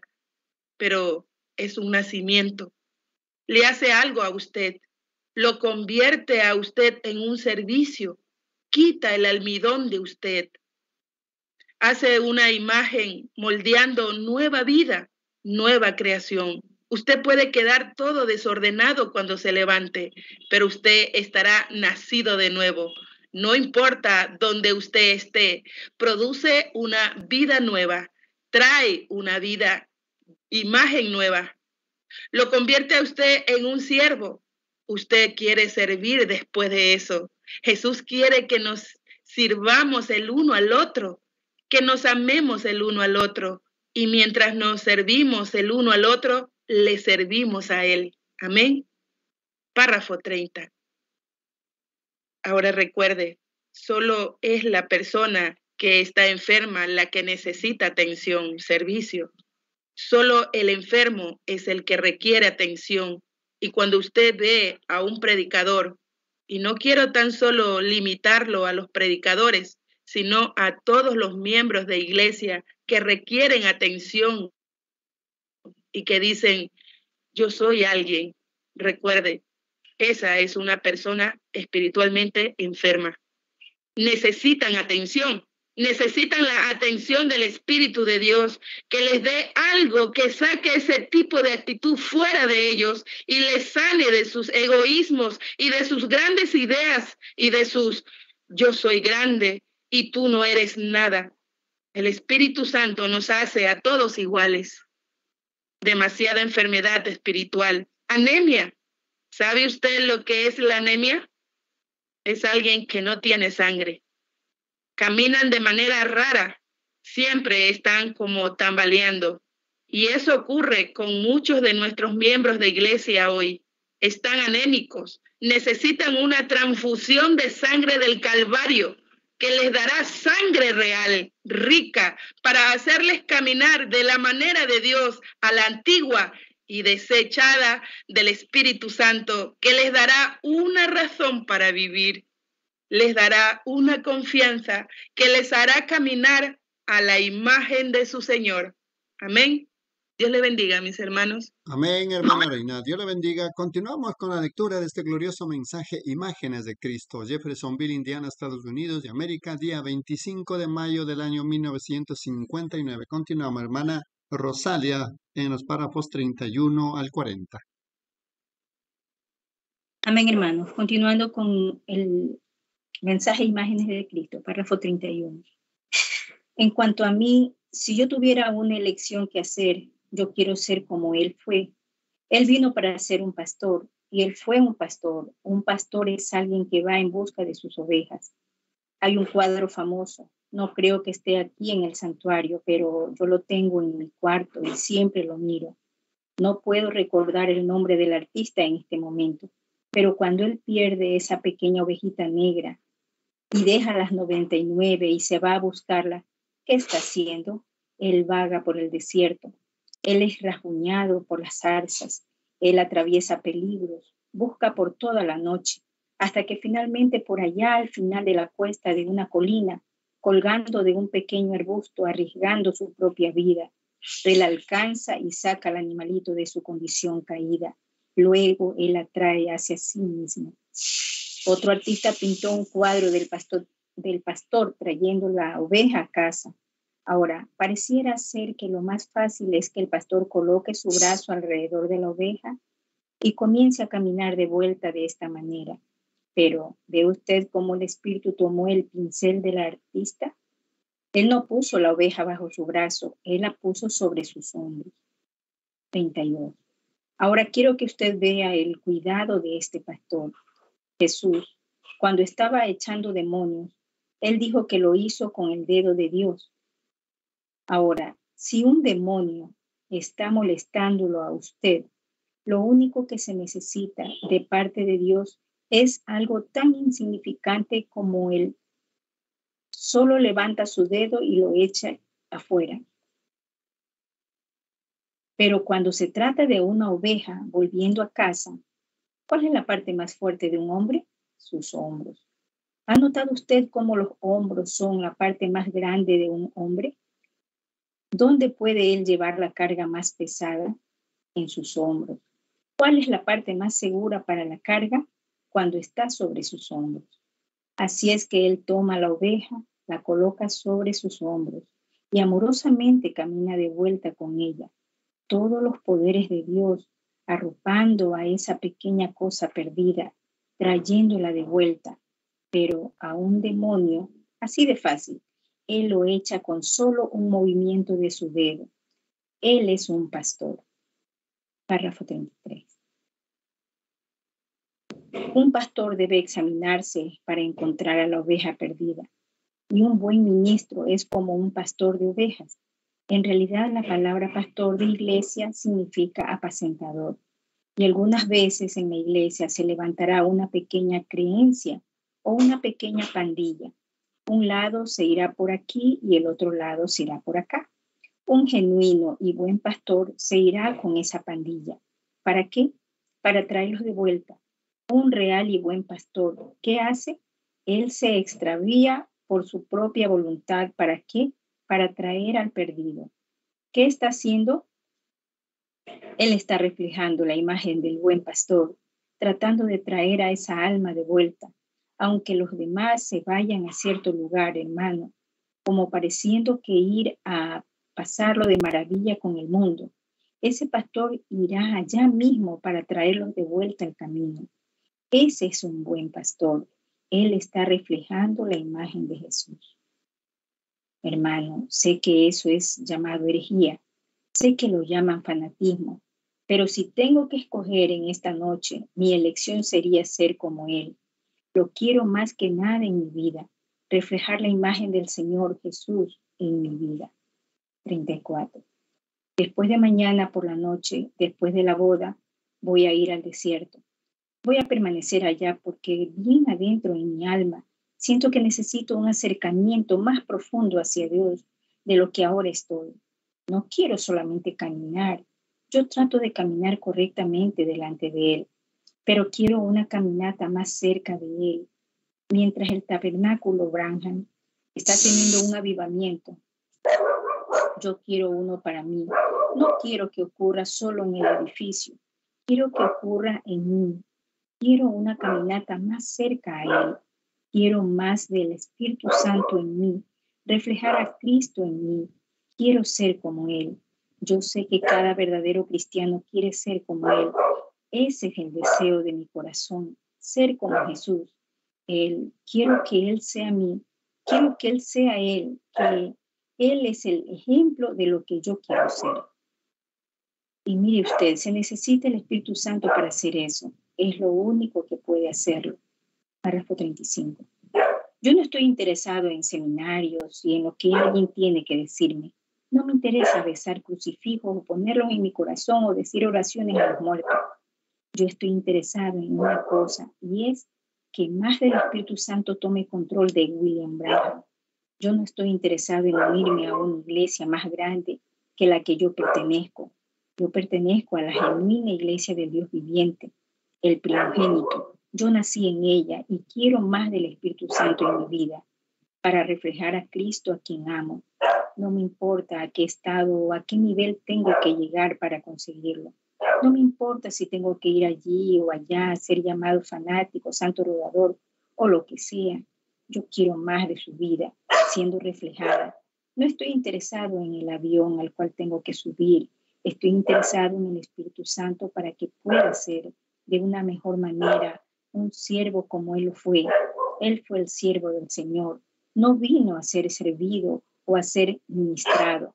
No vino para ser ministrado, sino para ministrar. Él tomó el lugar de un siervo. Y si el Rey de los cielos pudo hacer eso, y nosotros somos los miembros de su cuerpo, seamos todos entonces de la misma manera, no diferentes, sino que humillémonos en su presencia. No importa lo que el mundo tenga que decir o la gente intelectual, no piense en eso, solo reciba más del Espíritu Santo y sea como Jesús, humilde, manso, sencillo, tome su lugar y él tomará el suyo en el juicio. Párrafo 36. Inclinemos nuestras cabezas por un momento. Podría yo ver en esta noche las manos de los miembros de esta iglesia y de otras iglesias.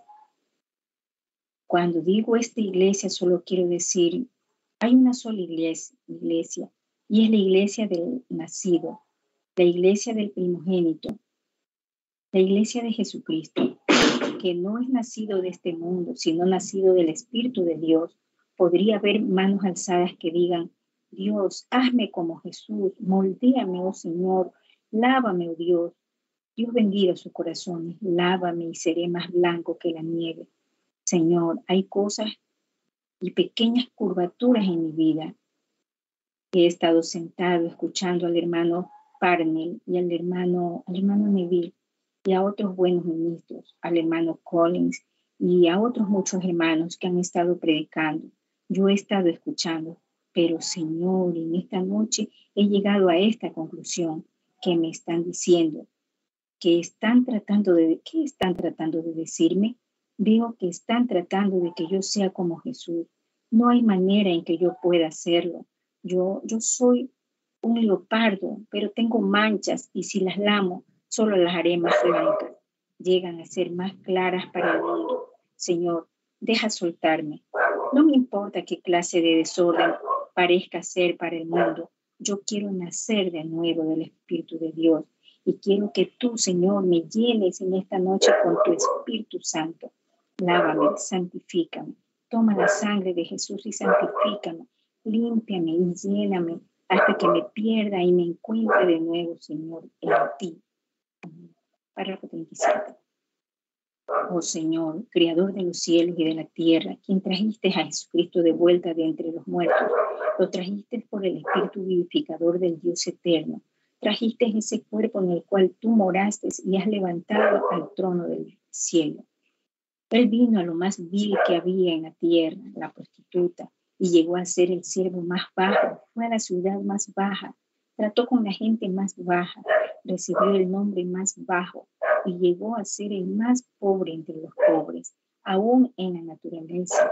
Las aves tienen sus nidos y las zorras tienen cuevas, pero el Hijo del Hombre no tiene lugar en donde recostar su cabeza. Y aún así, ese espíritu vivificador que honró a ese verdadero siervo que se hizo a sí mismo un siervo, para que nosotros pudiéramos tener un ejemplo para seguir, lo levantó de las profundidades del infierno y lo trajo a la tumba, y luego lo asentó en los cielos de los cielos, hasta el punto que fue exaltado tan alto que tuvo que mirar hacia abajo para ver los cielos. Y le dio un nombre que es sobre todo nombre en los cielos y en la tierra. 38. Señor, que podamos recibir su espíritu en esta noche, Que esa sea el hambre de cada corazón aquí. Tuviste todas las manos que se alzaron, Señor, no para decir credos ni para unirse a iglesia o, argumentar sobre estas o aquellas cosas, sino para humillarnos en nuestros corazones y ser hechos conformes a la imagen de Dios. Que sea hecho así para el Espíritu Santo, Señor.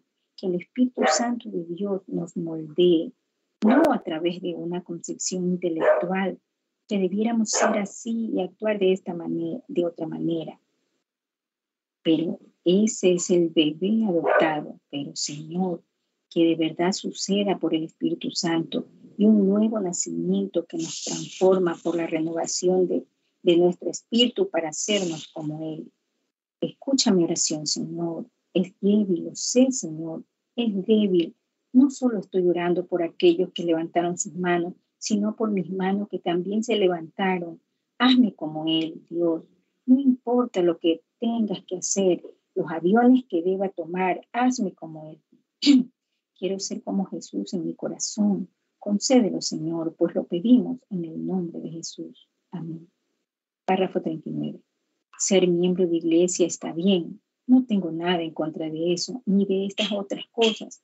Pero hermanos, ser un cristiano significa ser conforme a la imagen de Cristo. Queremos ser imágenes vivientes, no llevar una imagen, sino ser una imagen del Señor Jesús. Hay un himno que me gustaría que me ayudaran a cantar ahora. Yo no sé cómo, no puedo cantarlo, pero estoy seguro de que todos ustedes pueden. Ayúdenme. Ser como Cristo. ¿Cuántos lo saben? La congregación responde amén. Sé que todos queremos serlo, así es que cantémosle a Él. Estoy consciente de que el gran Espíritu Santo está aquí, no puede esconderse. David dijo, si hago mi lecho en el infierno, allí está Él. Él estará en todo sitio, Así es que Él está aquí en esta noche. Él conoce cada movimiento, cada acción, todo lo que hacemos, cada mirada, cada pensamiento. Él conoce todo. ¿Lo creen ustedes? Ser como Cristo, ser como Cristo. En esta tierra anhelo ser como Él. En mi jornada de la tierra, la gloria, yo solo pido ser como Él. ¿Les gusta eso? Escuchen esto ahora. Desde el pesebre de Belén vino un extranjero en esta tierra solo anhelo ser como Él. En mi jornada de la tierra, la gloria, yo solo pido ser como Él. Párrafo 40 por último. ¿Saben lo que me viene a la memoria ahora? Ayer tomé el viejo libro de la iglesia, hace, no lo había visto. Bueno, francamente es la primera vez que lo veo. Tuve que usarlo cuando fundamos la iglesia y allí estaba el nombre del hermano Stewart y allí estaba el hermano George de Yard y el hermano Weaver todos aquellos nombres allí. Seguí viendo las pequeñas reuniones de escuela dominical. Vi la ofrenda total del tabernáculo en cinco reuniones, un dólar y sesenta centavos. Con cientos de miembros aquí, un dólar y sesenta centavos, ¿ve? Luego miro el registro de hoy y pienso, oh, cuántos se han marchado ya. Vi al hermano Frank Boy allí. Mamá, él fue mi suegro. Vi a todos los antiguos, hermana Weber, todos aquellos antiguos que han subido la escalera y se han ido al gran segundo piso, ellos se han marchado. Amén, hermanos, Dios le bendiga. Amén, hermana Rosalia, Dios le bendiga la lectura. Continuamos con este glorioso mensaje titulado Imágenes de Cristo. Servicio realizado en Jeffersonville, Indiana, Estados Unidos de América, día 25 de mayo del año 1959. Continuamos, hermano Luis Miguel, a continuación en los párrafos 41 al 50. Dios le bendiga.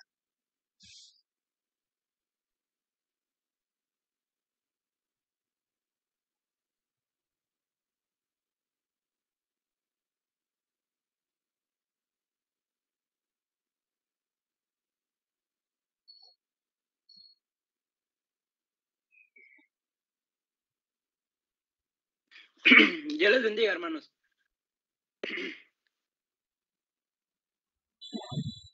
Párrafo 41. Recuerdo cuando solíamos juntarnos aquí y pensé, Señor Dios, nuestra iglesia puede parecer un poquito mejor ahora y estamos preparándonos para construir otra, pero Señor, no amas más, nos amas más ahora de lo que nos amabas. Entonces, yo lo creo.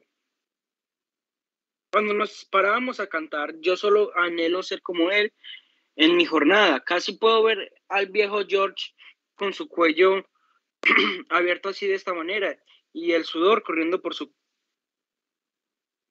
por su cuerpo, haciendo su pa meciendo su pañuelo entre sus dedos, puedo ver a aquellos queridos viejos y rostros santos allá, clamando con sus manos en alto. Los predicadores que entraban al edificio me decían, oye muchacho, ¿cómo haces para tener a toda esa gente así en un acuerdo? Yo les respondía, yo no tengo nada que ver en el asunto, ellos fueron formados y transformados por, a la imagen de, de Dios allí, bajo, bajo la palanca de acerrín allí, bajo en donde encontraron a Cristo en sus corazones. Qué aroma más dulce y agradable el de aquellas oraciones que subían constantemente por toda la noche. Algunas veces veníamos e íbamos a la casa de los eh, demás y nos volvíamos a la casa al amanecer, habiendo orado toda la noche. Esa sinceridad ya no se encuentra más. Pareciera ser que ha ido, se ha ido. ¿Qué sucede? ¿Qué sucede? Volvamos al primer amor que tuvimos, ser como Cristo y ser como Cristo. En esta tierra anhelo ser como Él, en mi jornada de la tierra a la gloria. Yo, yo solo pido ser como Él. De verdad, es, eso es lo que usted pide. Cantémoslo ahora, con sus manos en alto, ser como Cristo, ser como, de acuerdo a su imagen. Amam, amados los unos a los otros, somos miembros de su cuerpo, debemos ser como Él. En mi jornada de la tierra a la gloria, yo solo pido ser como Él. Le dice de corazón, diga amén. La congregación dice amén. No es un espíritu dulce. Yo prefiero tener, eh, tener eso que cualquier otra cosa en el mundo. Usted puede quedarse con todo en el resto del mundo, sus elegancias y su, y su intelecto, todos sus doctorados, doctores, rabías, obispos, padres santos, pero déjenme a Jesús, eso es correcto. Déjenme tenerlo a Él a la antigua, sentirlo a Él en mi corazón, vigilando mis vías y viendo que mis deseos solo, solo de servirle a Él da una manera humilde, me, mansi, mansa y sencilla. Eso es lo que necesitamos, amigos. Es a Jesús, el Jesús de la Biblia, no un Jesús intelecto, sino un Jesús del alma. Él está aquí en esta noche. ¿Cuántos aquí están enfermos y necesitados? Levanten las manos. Los que necesitan a Cristo, está usted enfermo y quiere que ore por usted, levante su mano bien al, alto para que yo pueda ver quién es usted. Ahora, ¿cuántos tienen un deseo en su corazón de orar por alguno que está enfermo. Déjenme ver sus manos. Muy bien, bastante pocos. Cuando crean, creen que Jesús aún es el mismo.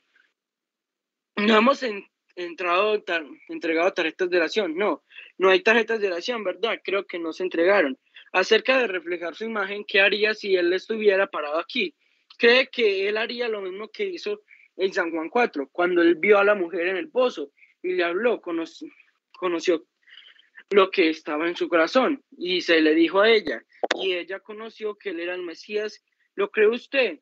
¿Cree usted que ese mismo Jesús es el sumo sacerdote? Espacio en blanco en la cinta. ¿Usted cree a, usted cree a ese mismo Jesús en esta noche, un camino, un día, que caminó un día y no, había línea de oración, pero una mujercita que tenía flujo de sangre presionó entre la multitud hasta que tocó su vestidura y regresó y se sentó. Jesús se dio vuelta y dijo, ¿quién me ha tocado? ¿Cree usted que ese Jesús es aún el mismo Jesús hoy en día? y el deseo de, en el corazón de ella. Vea, ella estaba asustada, pues se apartó del grupo y se sentó. Ella esperó y Jesús dijo, ¿quién me ha tocado? Y el, apóstol Pedro le reprendió y dijo, Señor, ¿cómo dices eso? Todos están tocándote. Él le respondió, sí, sí, pero fue un toque diferente. Virtió, salió de mí, lo, lo sentí. Y él miró por todo el alrededor de la audiencia hasta que vio a la mujercita y le dijo que había tenido un flujo de sangre y que su fe la había sanado. Es ese Jesús, la congregación dice amén. Bien, podríamos entonces humillarnos en esta noche y llegar a ser transformados a través de la renovación de nuestro espíritu por el Espíritu Santo para que podamos rendir nuestros labios nuestros ojos y su fe y mi fe para que Él venga sobre la audiencia y se mueva en usted y se mueva en mí para cumplir su palabra, que Él es el sumo sacerdote de nuestra confesión. Él se sienta a la diestra de Dios para interceder sobre nuestra confesión. Él también es, sumo, es un sumo sacerdote que puede ser tocado por nuestras debilidades de la misma manera en la que lo fue en cuando estuvo en la tierra. ¿Lo creen? Amén. Ese mismo Jesús ¿Cuántos aquí tienen una necesidad personal o de alguien más? Alguien a quien yo no conozco, alguien que usted conoce y que yo no sé nada del asunto, lo diré de esta manera. Yo no lo conozco a usted ni conozco su petición, pero creo usted que Jesús está aquí para confirmarse a sí mismo, para hacerse visible a nosotros, para actuar en nosotros de la misma manera en lo que lo hizo cuando estuvo en, en Jesucristo. ¿Creen eso? Levanten sus manos. Todos aquellos que saben que yo no les conozco, ve, yo no les conozco. Bueno, veamos. ¿Dónde nos podemos consagrar por primera vez? Sean reverentes. Si Él hace esto, le creerán ustedes con todo su corazón. ¿Lo ve?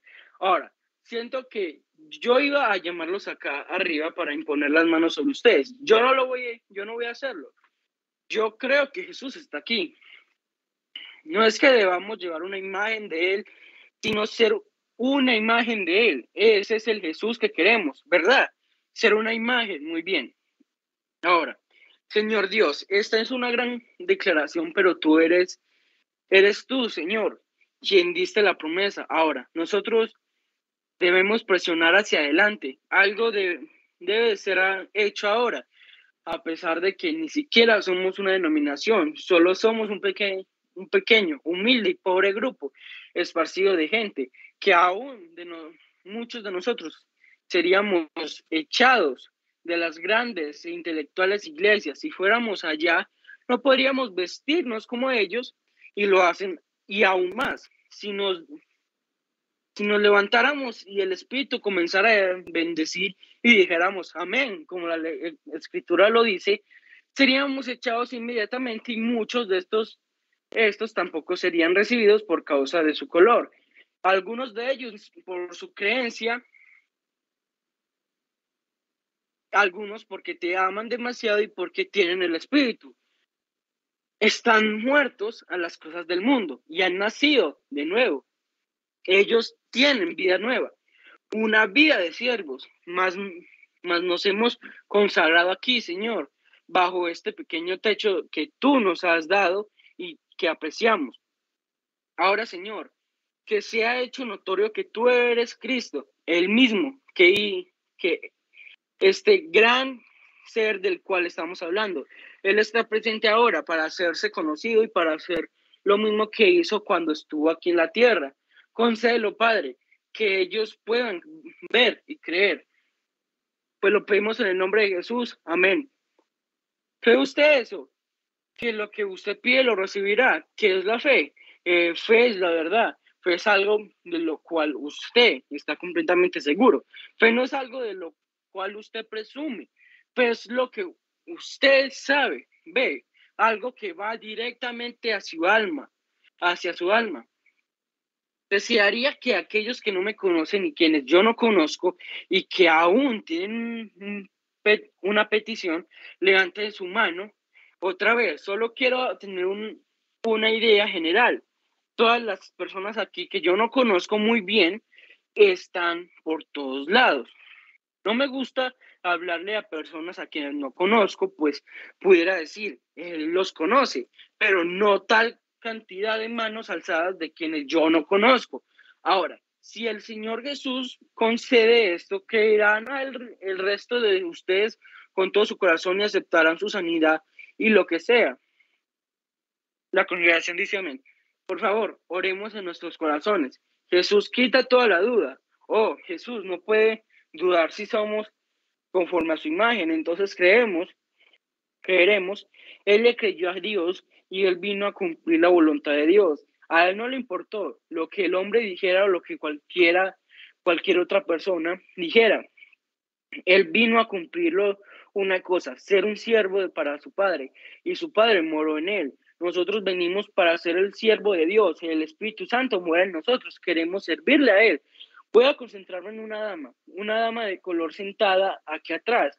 Creo que ella levantó sus manos diciendo, yo no la, no lo, no la conocía, siendo que, bueno, hay dos de ellas, ellas allá. Muy bien, ninguna de ustedes dos damas me conoce o las conozco. Si es correcto, levante sus manos. Si no las conozco, levante, levante sus manos. Muy bien.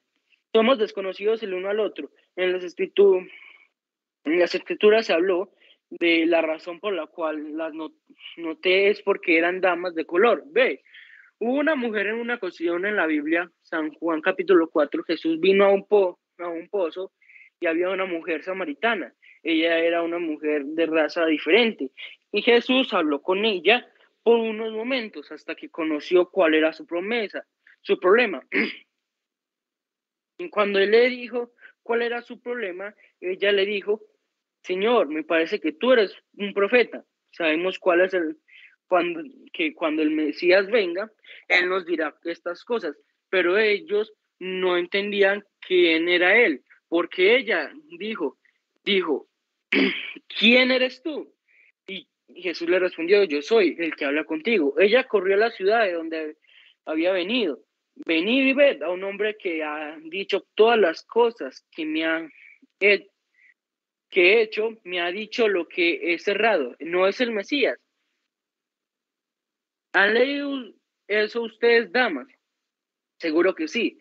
San Juan el capítulo 4. Bueno, si Jesús es el mismo ayer, hoy por lo, y por siempre, y ustedes están paradas a 18 metros o sentadas, mejor dicho, ¿creen ustedes que ese mismo Jesús, hablando entre nosotros, puede revelarme lo que ustedes desean desde aquí? Si les he dicho la verdad, y esta Biblia es la verdad, Él puede hacerlo, ¿verdad? Si Él lo hace, lo creerán. La mujer de la orilla que me está mirando, así de esta manera, ella está sufriendo de problemas, problemas de su, a su espalda y desea ser sanada de ello. Eso es correcto. Si lo es, levante su mano y la dama de la orilla, allí lo tiene. ¿Qué me dice usted, dama? ¿Creo usted también?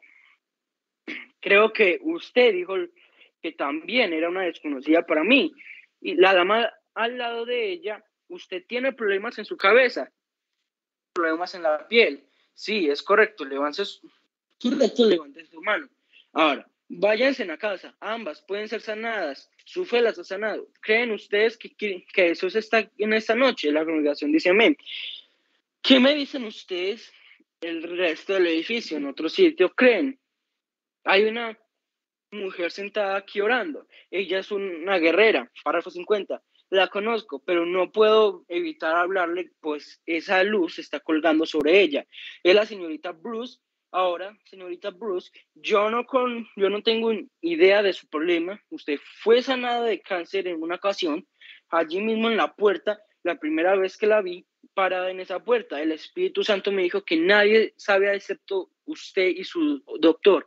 Eso es correcto. ¿Cree usted que puede decirme cuál es su problema? Ahora, yo la conozco a usted, pero no sé cuál es su problema. No tengo idea, pero usted fue sanada de cáncer, pero no puedo evitar que esa luz esté sobre usted. Ve, está allí mismo sobre usted ahora. Veo a alguien apareciendo, no, no, es por usted, es por alguien que tiene tiene cáncer, eso es correcto. Y ahora veo a una mujer o algo, ella es una pecadora o algo así, tiene un hábito de beber o algo así. Y tiene dos pañuelos para que yo orara por ellos, para su liberación. Eso es, eso es así, dice el Señor, es correcto. Ahora, sea la juez, usted la juez, eso es correcto. Si lo es, levante su mano. Párrafo 51. Dios les bendiga, hermanos. Amén, amén, hermano Luis Miguel. Dios le bendiga la lectura. Recordando, estamos lecturando este glorioso mensaje titulado Imágenes de Cristo, servicio realizado en Jeffersonville, Indiana, Estados Unidos de América, el día 25 de mayo del año 1959. Continuamos con la lectura, hermana Margarita. Dios le bendiga en los párrafos 51 al 60. Amén, amén, hermanos. Dios les bendiga. Párrafo 51.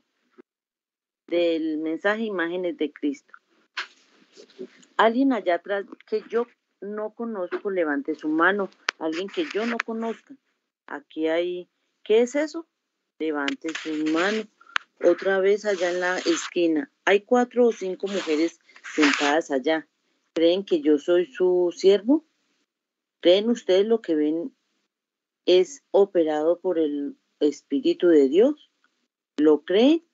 Si tan solo pueden creer, la mujer sentada mirándome no es ese con ese sombrerito de lentes con aros blancos. Sí, no es por usted misma, es por alguien más. Y está en una condición seria. Es un derrama, es un derrame interno. Están en un hospital. El hospital es de Nueva Albany. Albany. Eso es verdad. Así dice el Espíritu Santo. La jovencita levantó usted su mano. La dama acá en este otro lado, mirándome desde acá. ¿Me cree usted? Usted tiene un deseo en su corazón. ¿Cree usted que Dios puede revelármelo? Muy bien. Usted también está orando por otra persona. Es alguien que tiene cataratas en sus ojos y tiene miedo de que pueda quedar ciega. Eso es correcto. Ahora, si usted puede creer por ella, ella no quedará ciega si usted lo cree. Párrafo 52. La dama allá atrás al final, detrás de la mujer que levantó su mano. Usted tiene problemas de nervios. Eso es correcto. El problema nervioso está en su garganta. Eso es correcto, ¿verdad? Entonces levante su mano. Si es así, usted dama allá, usted le habló muy bien. ¿Quién fue la siguiente dama allá? Fue usted quien también levantó su mano. Hermana, levante sus manos. La dama anciana, muy bien, usted tiene reumatismo y quiere que se ore por usted, ¿correcto? ¿Verdad? Levante su mano, ¿cree usted? Alguien, alguien allá atrás en la puerta de la iglesia cree que te y crea y tenga fe.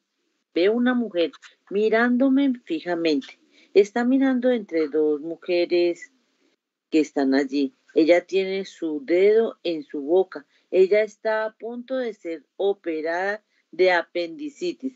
Es exactamente correcto. Si lo es, levante su mano, dama, allí lo tiene.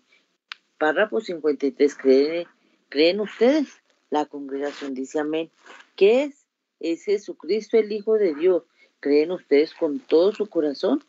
Amén. Espere un minuto, hermano. Ser como Cristo es ser como Cristo. En esta tierra yo anhelo ser como Él. En mi jornada de la tierra a la gloria, yo solo pido ser como Él. Párrafo 54. Puedes ver, puede ver usted el estado de muerte de la iglesia de este día que ocurrió en los días del Señor Jesús cuando eso ocurrió. Aquella mujer con la tal emoción que salió, que soltó el cántaro de agua y corrió a la ciudad diciendo, el Mesías está aquí. Pero hoy, oh, si ciertamente usted aún no se ha desordenado lo suficiente en el altar para recibir un nuevo nacimiento. Hay algo equivocado en algún sitio. Aquello enviaría al Espíritu Santo por todo este lugar y comenzaría un avivamiento el reflejo de Jesucristo, su imagen expresada aquí, moviéndose entre el pueblo para hacerlo así. ¿Qué sucede? Falta algo. Necesitamos un avivamiento. Cuanto más hay en, cuánto, ¿Cuántos más hay enfermos aquí? Levanten sus manos los que estén, los que estén enfermos y necesitados. Ponga las manos el uno sobre el otro. Oremos. Rápidamente ponga sus manos el uno sobre el otro. Esté listo para recibir su sanidad. Si usted cree con todo su corazón que ustedes pueden ser sanados ahora mismo. Párrafo 55. Yo estuve sorprendido por... Estuvimos hablando de una mujer del, del nacimiento. Aún en toda mi vida no ha habido una mujer que venga a la plataforma deseando un bebé que ella no. ¿Qué sucede? Si yo la veo a ella y veo que su más grande deseo es esa cosa correcta, yo le digo, dama, usted busca tener un bebé. Y ella me responde, sí, hermano Branham. Conocí una mujer cuando ella tenía 49 años y ella tiene un bebé recién nacido ahora. Durante toda su vida ella había vivido con un varón desde, digamos, los 16 años. Ella tenía 49 en esa ocasión y él 50 y algo. Tan pronto como fue dicho, así dice el Señor, correcto, ustedes tendrán ese bebé. Ella se fue a casa y compró ropa para el bebé. Tres años más tarde, teniendo ella ya 52 años, dio a luz al bebé que ella anhelaba tener. ¿Por qué? Cuando ella escuchó lo que fue dicho, ella supo que tenía que suceder. ¿Qué hizo eso? La puso a ella en la actitud correcta. Si estás, el Espíritu Santo es tan bueno en venir y hablar estas cosas al pueblo, si tan solo, si usted consigue la actitud correcta, la sanidad es un hecho. Párrafo 56. Oh Señor, tú eres Dios y serás Dios por siempre jamás. Y estamos tan felices de saber que tú has prometido que tendrás un remanente cuando vengas a la tierra, sin importar lo que venga o lo que se, lo que se presente. Va a haber gente que estará lista. Sabemos que hay un diezmo que la gente da a Dios y hay un diezmo entre la gente también. Quizás pudiéramos decir un 10% de toda la cosecha del mundo a través de las edades serán los elegidos que han sido llamados. Oh Padre, oramos mientras obramos aquí, todos nosotros juntos buscando por toda la ciudad, tratando de traer a los, pez, a los pecadores, tratando de hacer algo por el reino de Dios. Vamos a la ciudad y vemos la indiferencia de ellos, la vemos, y cómo los en Sodoma aflige nuestros corazones a diario ver las mujeres fumando cigarrillos y reclamando ser cristianas y bebiendo y de parranda y vistiendo ropas inmorales y los hombres codiciando.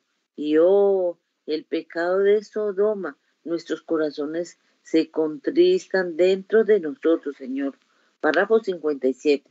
Oh, con razón la fe ha, ha decaído cuando la gente es de esa manera, sin tener la sangre de Jesús, eso santificaría sus almas y las pondría en fuego por Dios, pero aún así no lo recibirán. Y las pequeñas misiones en las esquinas, tocando los panderos y los tambores allá en las esquinas, y ellos rindiéndose, perdón, y ellos riéndose de nosotros al traer a los santos del Dios viviente. Oh, cómo te agradecemos, Padre, por ese avión que nos servirá para predicar el Evangelio y extender las manos hacia el pueblo. Concédelo, Señor, ahora mientras oramos y sabemos que tu gran Espíritu Santo y los ángeles están en sus posiciones aquí en la iglesia. Dios perdona todo pecado. La gente está enferma aquí en esta noche. Hay muchos. Tú te has mostrado que estás aquí, Señor, a través de tus siervos, muchos de ellos que están afuera llamando y tratando de alcanzar y hablar a los y hablar a los demás. Y Señor, tú sabes que eres el único que puede permitir que esto suceda. Tú eres Dios, el único Dios, y tú lo haces, pues prometiste que lo harías. Y es la última señal a las iglesias como tú lo dijiste. El tiempo del fin está aquí. Párrafo 58. Tú hiciste esta pregunta. ¿Encontraré fe cuando venga a la tierra? Tú no preguntaste, ¿encontraré miembros de iglesia? ¿Encontraré credos? ¿Encontraré sinceridad? Tú dijiste, ¿encontraré fe cuando venga a la tierra?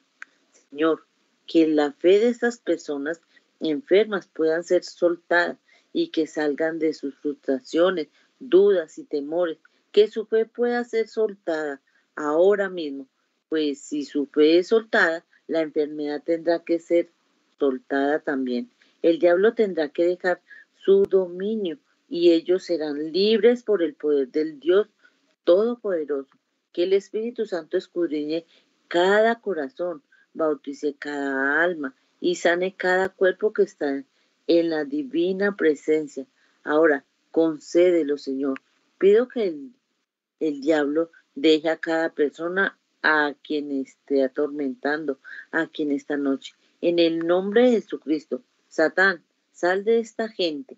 Como un siervo de Dios, yo clamo por ellos, pidiendo misericordia por ellos. Amén. Párrafo 59. ¿Cuántos creen que con todo su corazón ahora, con todo lo que hay dentro de ustedes, que Jesucristo se está reflejando a sí mismo en la tierra hoy entre su pueblo? ¿Le aman? La congregación dice amén. Entonces cantemos este viejo himno juntos. Yo le amo, yo le amo, porque él a mí me amó. Todos juntos mientras nos paramos ahora, todos juntos, cantémoslo, cantos lo, perdón, can, ¿cuántos los, lo conocen? Levanten sus manos. Yo le amo, adorémosle ahora. Todos los enfermos, todos los afligidos, pónganse de pie ahora y reciban su sanidad. Yo creo con todo mi corazón, si usted solo suelta su fe ahora mismo, el Cristo de Dios, quien está presente ahora, va, ¿qué está haciendo Él? Moldeándonos a su imagen. Ve, su espíritu está aquí reflejándose hacia usted. Ahora ustedes saben que no soy yo. Yo no conozco a estas personas, ni sé quiénes eran. Aquellas que levantaron sus manos, ellas levantaron sus manos diciendo que no me conocían. Y yo levanté mis manos, no la, las conocía, pero Dios las conoce. ¿Qué es? Es Cristo reflejándose a sí mismo. Su, es su fe en creerlo. Es mi fe para ministrarlo, pues él, él me lo confirmó por un ángel cuya foto ustedes pueden ver. Ella cuelga en el Salón de Arte Religioso y está por todo el mundo. Es mundialmente conocido. Párrafo 60, para terminar. El pilar de fuego que dio a los hijos de Israel cuando fue hecho carne y estuvo en forma llamada el Hijo de Dios, él dijo, vengo de Dios y a Dios vuelvo. Amén. Después de su muerte, entierro y resurrección, Pablo se encontró con él en el camino a Damasco, en la forma de un pilar de fuego, en una luz que ensegueció a sus ojos. Pablo dijo, ¿quién eres tú, Señor? Él respondió, yo soy Jesús. Dura cosa te es dar cosas contra el aguijón. Jesús dijo, un poquito y el mundo no me verá más. Cosmos, el orden mundial, los miembros de iglesia y todo eso no me verán más, pero vosotros me veréis, pues yo, pronombre personal, yo, el mismo Jesús, estaré con vosotros y en vosotros hasta el fin del mundo. Y las obras que yo hago, vosotros también las haréis, y mayores que estas haréis, porque yo voy al Padre. Amén. Oh Señor, yo le amo, yo le amo, porque Él a mí me amó y me compró la salvación allá en la cruz.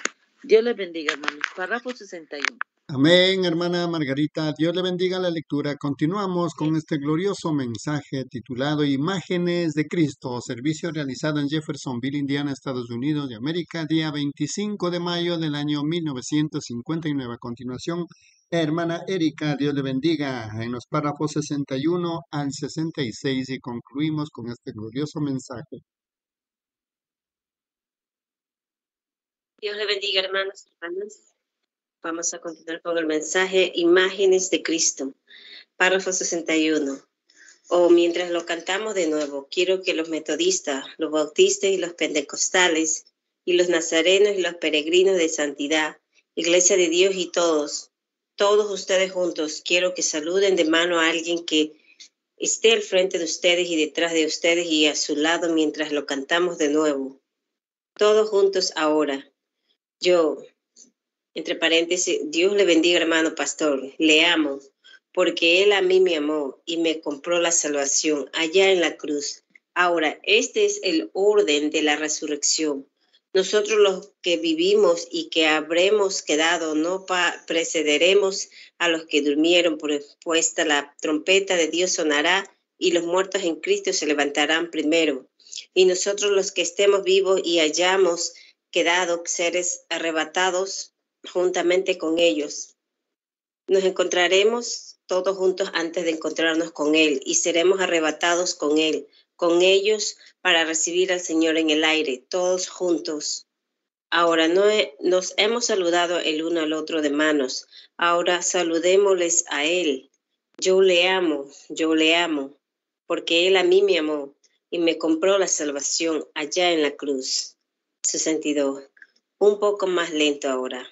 Una jovencita ha sentido salir de su lugar y ha venido directamente hacia el altar sollozando y gimiendo Habrá otros que sienten la misma convicción y les gustaría arrodillarse junto a ella. Estaríamos felices de que pudieran venir y tomar un lugar aquí.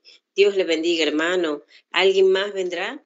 Qué bien, yo. Moldéame, Señor, y hazme ir a la casa del alfarero. ¿Quién más vendrá a tomar un lugar? Porque Él a mí me amó y me compró la salvación allá en la cruz. Oh, ¿no es Él maravilloso? Entre corchetes la congregación dice, amén.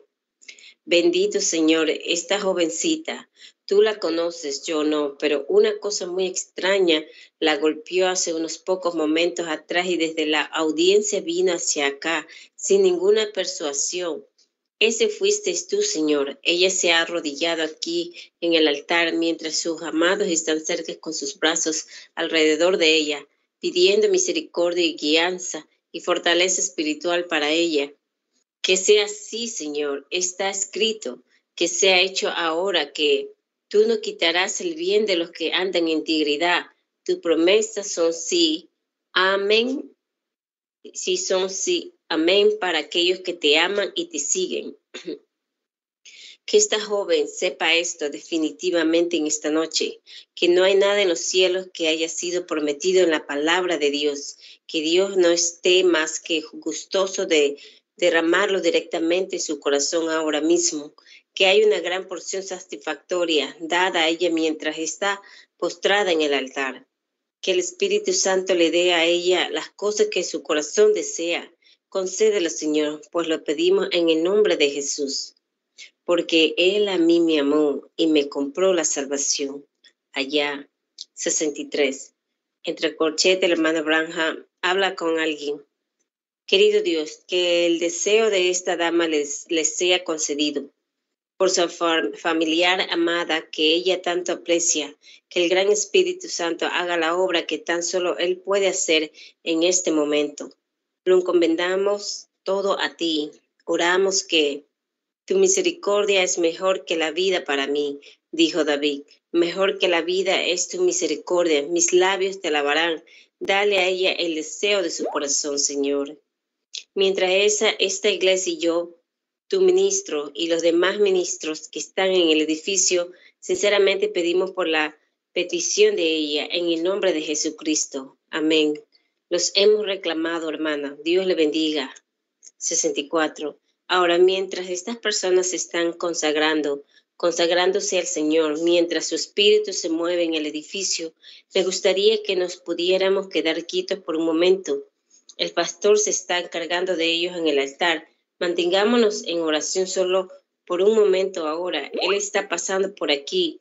Así que estemos contando ahora. Él está hablando a cada uno.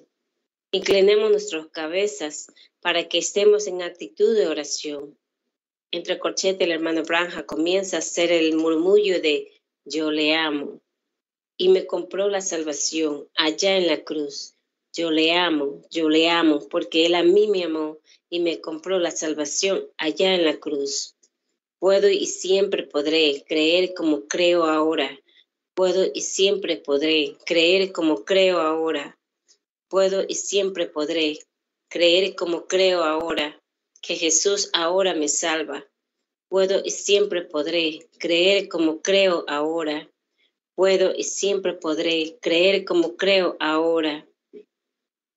Puedo y siempre podré creer como creo ahora que Jesús ahora me salva. Yo le tomaré a Él en su palabra, yo le tomaré a Él en su palabra. Él me trae gratuita salvación y yo lo tomaré a Él en su palabra. Puedo y siempre podré creer como creo ahora. 65. Mire aquí, jovencito, ¿quiere usted una caminata más cercana con Dios? ¿Cree usted que Él puede dársela? Entre corchete el hermano dice, sí, si usted lo cree con todo su corazón, usted puede tenerlo, ¿ve? Sí, Señor, lo creo, entre corchete. ¿Lo acepta? Entre corchete, sí, Señor. Creeré que Jesús ahora me salva. Todo lo que le, le aman, levanten sus manos. Diga, yo le amo con todo lo que hay dentro de mí. ¿No es el maravilloso? Mientras inclinamos nuestras cabezas en una oración para cerrar, recuerda el servicio de mañana por la noche. Les voy a pedir si pudieran ustedes ahora, tan rápido como les sea posible, cada uno de ustedes que levantó su mano por salvación, por una caminata más cercana, crean que la tienen. Si pueden sentirlo así, tome el bebé adoptado, ¿ve? Manténgase diciendo que lo tiene hasta que llegue a ser una realidad. Ustedes que aceptaron su sanidad y no sienten ninguna diferencia y dicen, mi, mi fe no es suficiente para moverse en este momento, hermano Branja. Tómelo de la manera del bebé adoptado. Solo manténgase diciendo, Señor, yo estoy sano, lo creo así. Llegará a suceder que lo que encontrará de buen ánimo en un momento y entonces su fe estará en la, en la posición correcta y sucederá. Solo créalo con todo su corazón. 66. Ahora, Mañana por la noche los servicios comenzarán a las siete y media, como siempre, mañana por la noche y cada noche de esta semana.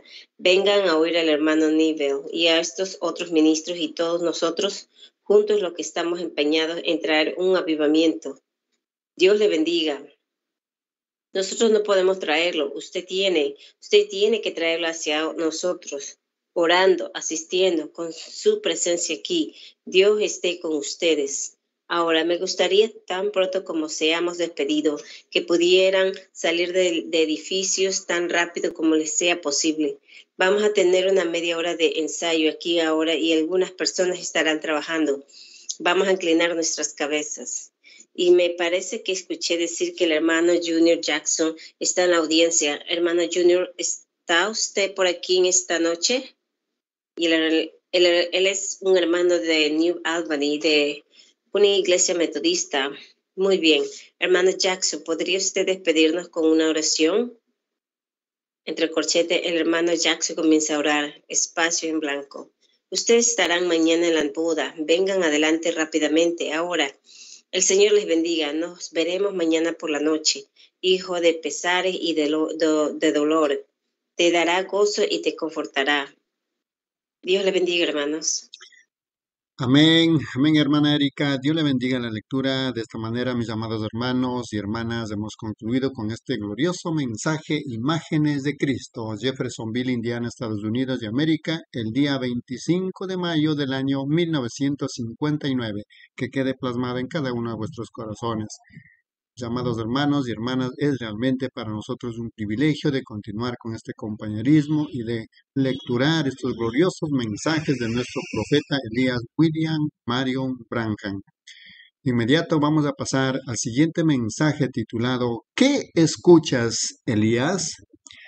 Servicio realizado en Chicago, Illinois, Estados Unidos, día 9 de junio del año 1959. Iniciamos este nuevo mensaje, hermana Rosalia, en los párrafos 1 al 5.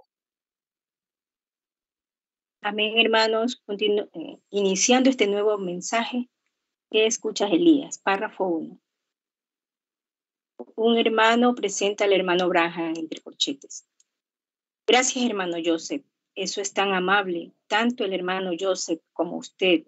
Ahora inclinemos nuestro rostro solo un momento para orar. Oh Señor, con tal sentir y bienvenida para una iglesia entre tu pueblo, que sería difícil para mí encontrar las palabras apropiadas para expresar mis sentimientos. Pero yo sé que tú puedes hacer que cada uno de ellos entienda y sabes cuánto yo les agradezco a ellos y estoy tan agradecido contigo por mis amistades en Chicago. Yo ruego, Señor, que tú bendigas esta convención. Permite que esta sea una convención diferente a las que hemos tenido. Hazla en la misma manera, pero más grandiosa, Señor. Que sea algo donde podamos sentarnos al lado de la zarza ardiendo y escuchar lo que Él tenga que decirnos, para decirnos durante este tiempo que podamos nosotros esperar en Él, pues sabemos que Él es nuestra fortaleza y nuestra vida. Párrafo 2. Te damos gracias por el hermano Joseph. Estamos muy contentos que tú le hayas traído nuevamente y le hayas dado grandes reuniones y por todas las almas que él ha traído a ti y los ministros que sirvieron de ayuda a la gran iglesia del Dios viviente en otras tierras. Pues verdaderamente creemos, oh Dios, que no tardará mucho hasta que lo veamos a Él, a quien hemos amado y anhelado ver. Y entonces la gran iglesia de Dios, rescatada, separará, redimida a su imagen. Oh, anhelamos que ese día, cuando la trompeta sonará y los muertos empezarán a levantarse, y nosotros seamos arrebatados juntamente con ellos para encontrarnos con el Señor en el aire. Anhelamos ese gran evento. Ayúdanos, Padre, en los tiempos de estas reuniones ahora, para mientras estamos sentados bajo la sombra del árbol, por decirlo así, en la escuela, ayúdanos a conocer más de ti, de manera que podamos salir de esta convención mejor equipados de lo que estábamos cuando entramos, porque lo pedimos en el nombre de Jesús. Amén. Pueden sentarse. Un hermano hace un anuncio acerca de las instalaciones de la convención. Bien, allí somos enseñados que todas las cosas ayudan a bien para aquellos que aman a Dios. Es cierto que yo debía estar en las islas Fiji en este tiempo, pero debido a, dificultades tuve que posponerla. Y entonces inmediatamente llamé al hermano Joseph y le dije que yo sería capaz de venir a Chicago. Y ello, como de costumbre, así es ahora, es siempre un gran placer para mí venir a Chicago. Yo pienso que es el centro de la nación y sin duda uno de los grandes centros del mundo. Chicago ha necesitado un avivamiento por mucho tiempo, un verdadero despertar, y ha estado en él, en el corazón de grandes ministros llevar a cabo este avivamiento, y es igual a las otras ciudades por todo el mundo. Es pecaminosa y necesitada de un avivamiento. Párrafo 3. Hace unos días yo estaba yendo a la ciudad y yo soy sureño de nacimiento y me gusta hablarle a la gente a donde quiera que los veo. Y yo estaba llevando la cuenta. Allá en el sur es costumbre que, que hablemos el uno con el otro, ya sea que uno se conozca o no. Nosotros somos seres humanos y simplemente estamos viajando a través del mundo y queremos darnos el uno al otro el saludo del día, buenos días a usted o algo así. Cuando usted cruza ese río Ogio, usted inmediatamente encuentra la diferencia. Solo ese río marca una diferencia. Y yo estaba en el centro y mi esposa me dijo, ¿por qué le hablas a esa gente? Ellos no te hablan a ti. Pareciera como que algunos de ellos pudieran atropellarte. Bueno, yo dije, ¿sabes? El pueblo de Dios está en una minoría. Yo dije, es quizás, quizás el 10%, pero dije, yo, si yo le hablo a todo el mundo, entonces yo, yo sé que llegaré a ese 10% en alguna parte. Párrafo 4. Pero a mí me gustaría que los amigos sean amistosos. A mí, a mí me gusta hacer a todos los que conozco como si yo ya los conociera. Sé que a veces ellos lo miran a uno un poco raro y se paran a mirar yendo por la calle preguntándose qué le pasa a uno como si algo anduviera mal. Así es, yo he nacido de nuevo del Espíritu de Dios y eso eso como que hace a una persona un poco peculiar y yo estoy tan contento que he hablado eso. Una noche, esta semana, si el Señor lo permite, quiero hablar sobre eso, sobre lo que significa ser nacido de nuevo. Así que estamos felices de estar aquí para unirnos en esta convención. Supongo que este es como el tercero o cuarto año consecutivo en que esta convención me ha invitado para hablar el cuarto año y estoy agradecido a estos mis hermanos y a todos ustedes por ser tan amables. Por último, el párrafo 5. Y ahora, la iglesita aquí, yo usualmente pienso esto. Espero que yo, si estoy equivocado, que el Señor me perdone, pero yo, yo siento como que ustedes pueden tener una mejor reunión en una iglesia. Yo, porque en estos grandes auditorios y demás, ellos están bien para sentar a la gente yo espero que no sea una superstición, pero siempre me parece a mí que hay tanta maldad aconteciendo en esos lugares, peleas y apuestas y whisky, y sencillamente llega a ser un lugar donde merodean los espíritus malignos. Pero en, en una iglesia el Espíritu Santo se queda allí. A mí, a mí me gusta estar donde está el Espíritu Santo. Yo me siento más como en casa. Ustedes saben, yo estar allí donde está el Espíritu Santo y especialmente a donde quiera que está la iglesia. Por supuesto, es que ellos traen al Espíritu Santo con ellos. Estamos agradecidos por eso. Amén, hermanos. Dios les bendiga. Amén, hermana Rosalía. Dios le bendiga la lectura. Bueno, mis amados hermanos y hermanas, hemos concluido con el compañerismo y si Dios nos da un día más de vida, continuaremos con este glorioso mensaje titulado ¿Qué escuchas, Elías? Servicio realizado en Chicago, Illinois, Estados Unidos, día 9 de junio del año 1959. Agradeciendo a Dios y a todos ustedes, mis amados hermanos, vamos a despedirnos y dándole gracias a nuestro Padre Celestial. Señor Dios Todopoderoso, muchas gracias por esta grande oportunidad, por este privilegio, Señor, que tú nos has dado de conocer estos mensajes gloriosos que estaba en misterio, Señor, para sabios y entendidos, pero tú le entregaste a pequeñitos que quieran aprender, oh Padre. Permite entrar con mucha sencillez, con mucha humildad, con mucho respeto, Señor, sabiendo de que es tu palabra de dador de vida eterna, Señor. Tú enviaste a vuestro profeta y nos dejó almacenado el alimento espiritual para vuestras almas, oh Padre razón que tú dijiste en Juan 14, 19, que todavía un poco y el mundo no me verá más, pero vosotros me veréis, porque yo vivo, vosotros también viviréis. Eso es en tu palabra, Padre.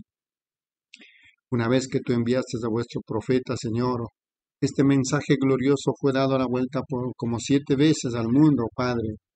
Por eso que tú dijiste en Habacuc 2.14, porque la tierra será llena del conocimiento de la gloria de Jehová, como las aguas cubren al mar, oh Padre amado. Muchas gracias, Señor, en esta tarde, los hermanos y hermanas que han estado en la escena, Señor. Permite que toda vez que nos unamos en este compañerismo, vayamos alimentados de, este, de esta comida especial que tú nos das, oh Padre. Sin ti no podemos ser nadie, oh Padre sin tu presencia, sin, sin aprender nada de ti, no somos nada, oh Padre. Entonces queremos entrar en un aprendizaje, Señor, aprender de tu lenguaje, aprender de tu idioma, Señor, y entrar en la escena rápidamente a tu palabra, así como allá en, en el tiempo de Noé. Él estaba en el tercer piso, oh Padre. Aquí lo mismo es pasando por estos cuerpos mortales, luego al espíritu y adentro en el alma, eso es tu germen de vida, eso somos cada uno de vosotros, no el cuerpo, no el espíritu, Padre, sino el alma, oh Padre amado. Muchas gracias por ese conocimiento, Señor.